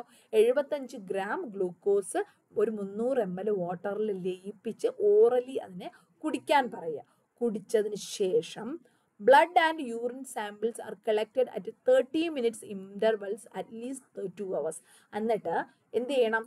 സെവന്റി ഫൈവ് ഗ്രാം ഗ്ലൂക്കോസ് കുടിച്ചതിന് ശേഷം അടുത്തൊരു മുപ്പത് മിനിറ്റ് കഴിഞ്ഞതിന് ശേഷം ഫസ്റ്റ് ഒരു സാമ്പിൾ എടുക്കണം. അടുത്ത് വീണ്ടും മുപ്പത് മിനിറ്റ് കഴിഞ്ഞ ശേഷം വീണ്ടും ഒരു സാമ്പിൾ എടുക്കണം. വീണ്ടും ഒരു മുപ്പത് മിനിറ്റ് കഴിഞ്ഞ ശേഷം വീണ്ടും ഒരു സാമ്പിൾ അങ്ങനെ രണ്ട് മണിക്കൂർ അങ്ങനെ ഒരു നാല് സാമ്പിൾ അടുത്ത് റിപ്പീറ്റഡ് ആയിട്ട് എടുക്കണം. അതായത് ഗ്ലൂക്കോസ് കഴിച്ചു ഗ്ലൂക്കോസ് കഴിക്കുന്നതിന് മുന്നേ നമ്മൾ ആദ്യം ഒരു ഫാസ്റ്റിംഗ് ബ്ലഡ് സാമ്പിൾ എടുത്തു. അതിനുശേഷം നമ്മൾ ഗ്ലൂക്കോസ് കൊടുത്തു. എഴുപത്തഞ്ച് ഗ്രാം ഗ്ലൂക്കോസ് മുന്നൂറ് എം എൽ വാട്ടറിൽ ലയിപ്പിച്ച് അഞ്ച് മിനിറ്റ് കൊണ്ട് കുടിക്കാൻ പറഞ്ഞു. അതിനുശേഷം എന്ത് ചെയ്തു? മുപ്പത് മിനിറ്റ് മുപ്പത് മിനിറ്റ് ഇടവിട്ടിട്ട് എന്ത് ചെയ്യാൻ പറഞ്ഞു? സാമ്പിൾ എടുത്തു. ഇവരിൽ നിന്ന് ബ്ലഡ് സാമ്പിൾ കളക്ട് ചെയ്തു. All blood samples are subject to glucose estimation while urine samples are qualitatively tested for glucose യൂറിനും ഗ്ലൂക്കോസും എന്ത് ചെയ്യണം എന്നിട്ട് അവിടെ ടെസ്റ്റ് ചെയ്യണം കളക്ട് ചെയ്ത സാമ്പിൾസ് ടെസ്റ്റ് ചെയ്ത് നമ്മൾ ഇതുപോലൊരു ഗ്രാഫ് റെപ്രസെന്റ് ചെയ്ത് ആദ്യം പേഷ്യന്റ് വന്നപ്പോൾ ഉള്ള സമയം ആണ്. ആ സമയത്ത് നമുക്ക് എടുത്ത ബ്ലഡ് എടുത്ത ബ്ലഡിലുള്ള ഗ്ലൂക്കോസ് നമ്മൾ എന്ത് ചെയ്യുന്നു? അതിന്റെ ലെവൽ മെൻഷൻ ചെയ്യുന്നു. ചാർട്ടിൽ മെൻഷൻ ചെയ്യുന്നു. അത് നോർമൽ ആണെങ്കിൽ ഇവിടെ വരും ഇച്ചിരി കൂടെ കൂടുതലാണെങ്കിൽ ഇവിടെ വരും അല്ലെങ്കിൽ ഡയബറ്റിക് ആണെങ്കിൽ കുറച്ചുകൂടെ കൂടുതലായിരിക്കും. ഏത് ലെവലാണോ അതവിടെ ചാർട്ടിൽ ഈ ഒരു പോയിന്റ് ഈ ഒരു എക്സ് വൈ ആക്സിസിൽ ഇവിടെ കറക്റ്റായിട്ട് ലേബൽ ചെയ്യുക. ഫസ്റ്റ് സാമ്പിളിൽ വന്ന ഷുഗർ ലെവൽ അതിനുശേഷം ഇത് അരമണിക്കൂർ കഴിഞ്ഞെടുത്ത സാമ്പിൾ അതിന്റെ ലെവൽ അടുത്ത് മെൻഷൻ ചെയ്യുക. ഏതാണോ ലെവൽ വരുന്നത്. എവിടെയാണോ വരുന്നത് അതവിടെ ലെവൽ അടുത്ത ഒരു മണിക്കൂർ കഴിഞ്ഞപ്പോൾ എടുത്ത സാമ്പിൾ വീണ്ടും ചാർട്ട് ചെയ്യുന്നു. ഇങ്ങനെ നമ്മൾ ഓരോ സാമ്പിളിലും ഒന്നര മണിക്കൂർ അങ്ങനെ വരുന്ന ഇതെല്ലാം ഇതിൽ ഏതെങ്കിലും ഇതിപ്പോൾ ഏതെങ്കിലും ഒരു ഗ്രാഫ് മാത്രമേ ഒരാൾക്ക് വരത്തുള്ളൂ. ഇപ്പം നോർമൽ ആയിട്ടുള്ള ഒരാളാണെങ്കിൽ ഈ ഗ്രാഫ് ആയിരിക്കും. പക്ഷെ ഇമ്പയർഡ് ആണെങ്കിൽ ഇതായിരിക്കാം. പക്ഷെ ഡയബറ്റീസ് ആണെങ്കിൽ ഇത്രയും ഉയരത്തിലായിരിക്കും ഷുഗറിന്റെ ലെവൽ എന്ന് പറഞ്ഞത് അങ്ങനെ കിട്ടി എടുത്ത അഞ്ച് സാമ്പിൾ നമ്മളിവിടെ ഗ്ലൂക്കോസിന്റെ ലെവൽ ലേബൽ ചെയ്യും. അതിനുശേഷമാണ് നമ്മൾ ചെക്ക് ചെയ്യാൻ പോണത് പേഷ്യന്റ് നോർമൽ ആണോ ഡയബറ്റിക് ആണോ പ്രീ ഡയബറ്റിക് ആണോ എന്നുള്ളത്. ഓക്കെ അപ്പം നമുക്ക് നോക്കാം. എങ്ങനെയാണ് ഇത് ഇന്റർപ്രറ്റ് ചെയ്യുന്നത് നോക്കാം. Graphic representation of G T T result ഈ ഒരു ചിത്രത്തിൽ കാണുന്നത്. ഇത് ഫാസ്റ്റിംഗ് ബ്ലഡ് ഗ്ലൂക്കോസ് ലെവൽ ഏതാണ്? നോർമൽ ആയിട്ടുള്ള ഒരാളുടെ ഫാസ്റ്റിംഗ് ഷുഗർ ലെവൽ എന്ന് പറയുന്നത് ആദ്യം എടുത്ത ബ്ലഡിൽ ഷുഗർ ലെവൽ എന്ന് പറയുന്നത് എത്രയായിരിക്കും? ഒന്നുകിൽ എഴുപത്തി അഞ്ചിനും നൂറ്റി പത്തിനും ഇടയ്ക്കായിരിക്കും. Seventy five to hundred and ten M G per D എല്ലിന് ഇടയിലുള്ള ഒരു വാല്യൂ ആയിരിക്കും നോർമൽ ആയിട്ടുള്ള ഒരാളുടെ ഫാസ്റ്റിംഗ് ഗ്ലൂക്കോസ് ലെവൽ എന്ന് പറയുന്നത്. ഇനി ആ ഫാസ്റ്റിംഗ് ഗ്ലൂക്കോസ് ലെവൽ എടുത്തപ്പോൾ അത് നൂറ് ആ ഒരു നൂറ്റി പത്തിന് മുകളിലോട്ട് നൂറ്റി നാൽപ്പത് അല്ലെ? മീൻസ് ഒരു നൂറ് നൂറ്റി ഇരുപത് നൂറ്റി ഇരുപത് നൂറ്റി നാൽപ്പത് ആ ഒരു റേഞ്ചിലൊക്കെ വന്നു കഴിഞ്ഞാൽ അത് ഇമ്പേർഡാണ് ഓക്കെ അപ്പോൾ ഇനി ആദ്യം നമുക്ക് നോർമൽ നോക്കാം. നോർമലിലുള്ള ഒരാൾക്ക് seventy five to one ten M G per D L ആയിരിക്കും ഫാസ്റ്റിങ്ങിൽ എടുത്ത ബ്ലഡിൽ പിന്നെ അത് നമ്മൾ ഗ്ലൂക്കോസ് കൊടുത്തു കഴിഞ്ഞാൽ അരമണിക്കൂർ കഴിഞ്ഞ് ആദ്യം എടുക്കുന്ന ബ്ലഡിൽ അത് ചിലപ്പോൾ ഒരു നൂറ്റി നാൽപ്പത് വരെ പീക്ക് വാല്യൂവിൽ പോകും അതായത് ഗ്ലൂക്കോസ് കുടിച്ച് അരമണിക്കൂർ കഴിഞ്ഞെടുത്ത ആദ്യത്തെ സാമ്പിളിൽ ബ്ലഡിന്റെ വാല്യൂ നൂറ്റി നാൽപ്പത് M G per D L എന്ന് വരും. അത് നോർമലാണ് അത് കഴിഞ്ഞ് ഓരോന്നിലും അരമണിക്കൂർ വീണ്ടും കഴിയുമ്പോൾ ഞാൻ ഈ ഒരു ഗ്രാഫ് ഒന്നുകൂടി ഒന്ന് ക്ലിയർ ആക്കി പറയാം. ഓരോ മണിക്കൂർ കഴിയുമ്പോഴും എന്ത് ചെയ്യും? ഇതിന്റെ വാല്യൂ പിന്നെ ചെറുതായി കുറഞ്ഞു കുറഞ്ഞ് വരുന്നത് കാണാം. ആദ്യം നൂറ്റി എഴുപത്തഞ്ചിനും നൂറ്റി പത്തിനും ഇടയിലായിരുന്നിട്ടുണ്ടാവും അത് കഴിഞ്ഞിട്ട് നോർമൽ ആയിട്ടുള്ള ആളുടെയാണ് പറയുന്നത്. അരമണിക്കൂർ കഴിഞ്ഞിട്ട് ഗ്ലൂക്കോസ് കഴിച്ചു കഴിഞ്ഞാൽ അരമണിക്കൂർ എടുക്കുമ്പോൾ ഏറ്റവും പീക്ക് ലെവലിലോട്ട് പോകുന്നു നൂറ്റി നാൽപ്പതിലെത്തും അത് കഴിഞ്ഞ് ഓരോ അരമണിക്കൂർ കഴിയുമ്പോഴും വാല്യൂ ഇങ്ങനെ കുറഞ്ഞു വരുന്നതായിട്ട് നമുക്ക് കാണാൻ പറ്റും. ഇറ്റ് ഈസ് നോർമൽ പേഴ്സൺ ഇനി ഇമ്പേർഡ് ഡയബറ്റീസ് ആയില്ല കുറച്ച് ഇമ്പേർഡ് ആയിട്ടുള്ള ആൾക്കാരാണെങ്കിൽ എങ്ങനെയായിരിക്കും എന്ന് പറയാം. ഇമ്പേർഡ് ഗ്ലൂക്കോസ് ടോളറൻസ് ആണെങ്കിൽ ഫാസ്റ്റിംഗ് സാമ്പിളിന്റെ വാല്യൂ എത്രയായിരിക്കും? വൺ ടെന്നിനും വൺ ട്വന്റി സിക്സിനും ഇടയിലായിരിക്കും വൺ ടെ ഇവിടെ കണ്ടോ? വൺ ടെന്നിനും വൺ ട്വന്റി സിക്സിനും ഇടയിലായിരിക്കും. അത് കഴിഞ്ഞിട്ട് രണ്ട് മണിക്കൂർ വരെയുള്ള ഇടയ്ക്കിടയ്ക്കുള്ള സാമ്പിൾ എടുത്ത് നോക്കിക്കഴിഞ്ഞാൽ നമുക്ക് അവിടെ ആ പീക്ക് വാല്യൂ എന്ന് പറയുന്നത് ടു ഫോർട്ടിക്കും ടു ഹൺഡ്രഡിനും ഇടയ്ക്കുള്ളത് ഇവിടെ വരെ ഈ ഒരു ലെവൽ വരെ ടു ഹൺഡ്രഡ് വരെ ചിലപ്പോൾ വന്നേക്കാം. വൺ ഫോർട്ടിക്കും ടു ടു ടു ഹൺഡ്രഡിനും ഇടയിലുള്ള ഒരു വാല്യൂ വരെ എലിവേറ്റ് ചെയ്തിട്ട് പിന്നെ പതുക്കെ പതുക്കെ കുറയുന്നുണ്ടാവും. Still it is not coming to not coming to normal level അത് കുറേശ്ശെ കുറയുന്നുണ്ട്. പക്ഷേ രണ്ട് മണിക്കൂറായിട്ടും അത് നോർമൽ ലെവലിലോട്ട് എത്തുന്നില്ല. അവിടെ ഇമ്പേർഡ് ഗ്ലൂക്കോസ് ടോളറൻസ് എന്ന് ആയി. ഓക്കെ പക്ഷെ ഇനി അടുത്ത ഒന്നുകൂടി ഉണ്ട്. നമ്മുടെ ഡയബറ്റിസ് ഡയബറ്റീസ് ഉള്ള ആളാവുമ്പോഴത്തേക്ക് എന്ത് ചെയ്യുന്നു? അതായത് one twenty six fasting glucose തന്നെ വൺ ട്വന്റി സിക്സിനേക്കാൾ കൂടുന്നു. ഫാസ്റ്റ് സാമ്പിൾ ഫസ്റ്റ് സാമ്പിൾ എടുക്കുന്നത് തന്നെ വൺ ട്വന്റി സിക്സിനേക്കാൾ കൂടുതലാണെങ്കിൽ ഫാസ്റ്റിംഗ് സാമ്പിൾ തന്നെ വൺ ട്വന്റി സിക്സിനേക്കാൾ കൂടുതലും അതിന്റെ ഹൈ എന്ന് പറയുന്നത് എത്ര വരെ? അടുത്ത അരമണിക്കൂർ ഷുഗർ കൊടുത്ത് അരമണിക്കൂർ കഴിയുമ്പോൾ ഉള്ള സാമ്പിൾ ചിലപ്പോൾ ടു ഫിഫ്റ്റി വരെ ആയിട്ടുണ്ടാകാം. അല്ലെങ്കിൽ അതിനേക്കാൾ കൂടുതലായിട്ടുണ്ടാകാം. അത് കഴിഞ്ഞ് പതുക്കെ പതുക്കെ കുറേശ്ശെ വളരെ ചെറിയൊരു വേരിയേഷൻ മാത്രമേ രണ്ട് മണിക്കൂർ കഴിയുന്നുണ്ടും കഴിഞ്ഞിട്ടും അവിടെ വരുന്നുള്ളൂ. അത്തരത്തിലുള്ള ആൾക്കാരെ എന്ത് പറയുന്നു? ഡയബറ്റിക്സ് എന്ന് പറയുന്നു. ക്ലിയർ ആവുന്നുണ്ടോ? നോർമൽ ഷുഗർ ലെവൽ എന്ന് പറയുന്നത് seven fasting seventy five to one ten ആണ്. ഷുഗർ കൊടുത്ത് അരമണിക്കൂർ കഴിയുമ്പോൾ അത് വൺ ഫോർട്ടി വരെ ആകാം. അത് കഴിഞ്ഞിട്ട് അത് നോർമലിലോട്ട് തിരിച്ചു വരുന്നതായിട്ടും കാണാം രണ്ട് മണിക്കൂർ കഴിയുമ്പോൾ എന്നാൽ ഇമ്പേർഡ് ഗ്ലൂക്കോസ് ടോളറൻസ് ഉള്ള ആൾക്കാർക്കാണെങ്കിൽ അത് one ten to one twenty six ആയിരിക്കും ഫാസ്റ്റിങ് അത് കഴിഞ്ഞ് അത് കൂടി ചിലപ്പോൾ ഒരു നൂറ്റി അൻപതോ നൂറ്റി എഴുപതോ ഒക്കെ ആകും. പക്ഷെ സ്റ്റിൽ അത് ചിലപ്പോൾ കുറച്ചുകൂടി ഒന്ന് താഴ്ന്ന് നൂറ്റി അൻപതിന് താഴോട്ട് വരുന്നതായി കാണാം. എന്നാൽ അത് impaired glucose tolerance test fasting തന്നെ വൺ ട്വന്റി സിക്സിനേക്കാൾ കൂടുതൽ. വൺ ട്വന്റി സിക്സിനേക്കാൾ കൂടുതലും അരമണിക്കൂർ കഴിഞ്ഞിട്ടുള്ള ഷുഗർ വീണ്ടും ടു ഫിഫ്റ്റി ആ റേഞ്ച് പോവുകയും വീണ്ടും വന്നാൽ അത് നോർമലിലോട്ട് തിരിച്ചു വരുന്നുമില്ല. അതിന് അങ്ങനത്തെ അത്തരത്തിലുള്ള ആൾക്കാരെ ഡയബറ്റീസ് ആണെന്ന് നമുക്ക് കൺഫേം ചെയ്യാനും പറ്റും. ഇത്തരത്തിൽ ചെയ്യുന്ന ടെസ്റ്റിനെയാണ് ഗ്ലൂക്കോസ് ടോളറൻസ് ടെസ്റ്റ് എന്ന് പറയുന്നത്. ആദ്യം എഴുതുക ഈ test glucose tolerance blue diabetes ഉണ്ടോ എന്ന് കൺഫേം വേണ്ടി ചെയ്യാൻ വേണ്ടി ചെയ്യുന്ന ഒരു ടെസ്റ്റാണ് അതിന് ചെയ്യുന്ന അതിന് മറ്റു രണ്ട് പേരുണ്ട്. ഓറൽ ഗ്ലൂക്കോസ് ടെസ്റ്റ് എന്നോ അല്ലെങ്കിൽ ഗ്ലൂക്കോസ് ടോളറൻസ് ടെസ്റ്റ് എന്നോ പറയാം. എന്തൊക്കെയാണ് പ്രിപ്പറേഷൻസ് മൂന്ന് ദിവസത്തിന് മുന്നേ വരെ. മൂന്ന് ദിവസത്തിന് മുന്നേ എങ്കിലും കാർബോഹൈഡ്രേറ്റ് റിച്ച് കഴിച്ചിട്ടുള്ള ആളായിരിക്കണം. കാർബോഹൈഡ്രേറ്റ് മെറ്റബോളിസത്തിനെ എഫക്ട് ചെയ്യുന്ന ഡ്രഗ്സ് ഒക്കെ അവോയ്ഡ് ചെയ്തിട്ടുണ്ടാവണം. ഭയങ്കരമായിട്ടുള്ള എക്സസൈസ് ഒന്നും ചെയ്യാൻ പാടില്ല. ലാസ്റ്റ് നൈറ്റ് തൊട്ട് മുന്നേ ഉള്ള രാത്രി പത്ത് മണിക്കൂറെങ്കിലും ഫാസ്റ്റിംഗ് സ്റ്റേറ്റ് ആയിരുന്നിരിക്കണം. അത് കഴിഞ്ഞ് രാവിലെ ഒൻപത് മണി മണി മുതൽ പതിനൊന്ന് മണി വരെയാണ് ഐഡിയൽ ടൈം ബ്ലഡ് എടുക്കാൻ. വേണ്ടി ആദ്യം ഫാസ്റ്റിംഗ് സാമ്പിൾ എടുക്കുന്നു. അതിനുശേഷം എന്ത് ചെയ്യുന്നു? എഴുപത്തഞ്ച് ഗ്രാം ഗ്ലൂക്കോസ് മുന്നൂറ് എം എൽ വെള്ളത്തിൽ ലയിപ്പിച്ച് അഞ്ച് മിനിറ്റ് കൊണ്ട് പേഷ്യന്റിനോട് കുടിക്കാൻ പറയുന്നു. മുപ്പത് മിനിറ്റ് കഴിഞ്ഞ് വീണ്ടും മുപ്പത് മിനിറ്റ് മുപ്പത് മിനിറ്റ് ഇടവേളയിൽ രണ്ട് മണിക്കൂറത്തേക്ക് സാമ്പിൾ കളക്ട് ചെയ്യുന്നു. ഓരോ സാമ്പിളിന്റെയും ബ്ലഡ് നമ്മൾ ഗ്രാഫിക്കലായിട്ട് റെപ്രസെന്റ് ചെയ്യുന്നു. എന്നിട്ട് ഇതിൽ ചെക്ക് ചെയ്യുന്നു. നോർമൽ ആണോ? ഇമ്പേർഡ് ഗ്ലൂക്കോസ് ടോളറൻസ് ആണോ? പേഷ്യന്റ് ഡയബറ്റിക് ആണോ എന്ന് ചെക്ക് ചെയ്യുന്നു. ഇതാണ് ഇത്തരത്തിൽ ചെയ്യുന്ന ടെസ്റ്റാണ് ഗ്ലൂക്കോസ് ടോളറൻസ് ടെസ്റ്റ് എന്ന് പറയുന്നത്. ഓക്കെ അപ്പം നിങ്ങൾക്ക് ഇത് ക്ലിയർ ആയി എന്ന് വിചാരിക്കുന്നത് വളരെ ഇമ്പോർട്ടന്റ് ആണ് റിപ്പീറ്റഡ്ലി ചോദിക്കുന്ന രണ്ട് ക്വസ്റ്റ്യൻസ് ആണ് നമ്മളിന്ന് പഠിച്ചത്. പ്രോട്ടീൻ ഡൈജഷനും ഗ്ലൂക്കോസ് ടോളറൻസ് ടെസ്റ്റും അടുത്ത ക്വസ്റ്റ്യൻസ് നമ്മൾ അടുത്ത ക്ലാസ്സിൽ പഠിക്കുന്നു. വീഡിയോ ഇഷ്ടപ്പെട്ടെങ്കിൽ ലൈക്ക് ചെയ്യുക സബ്സ്ക്രൈബ് ചെയ്യാത്തവർ യൂസ്ഫുൾ ആണെന്ന് തോന്നുന്നെങ്കിൽ സബ്സ്ക്രൈബ് ചെയ്യുക കൂട്ടുകാർക്കൊക്കെ ഷെയർ ചെയ്യുക നിങ്ങളുടെ കമൻസ് സജഷൻസ് ഒക്കെ എഴുതാനും മറന്നു പോകരുത് thank you for watching bye bye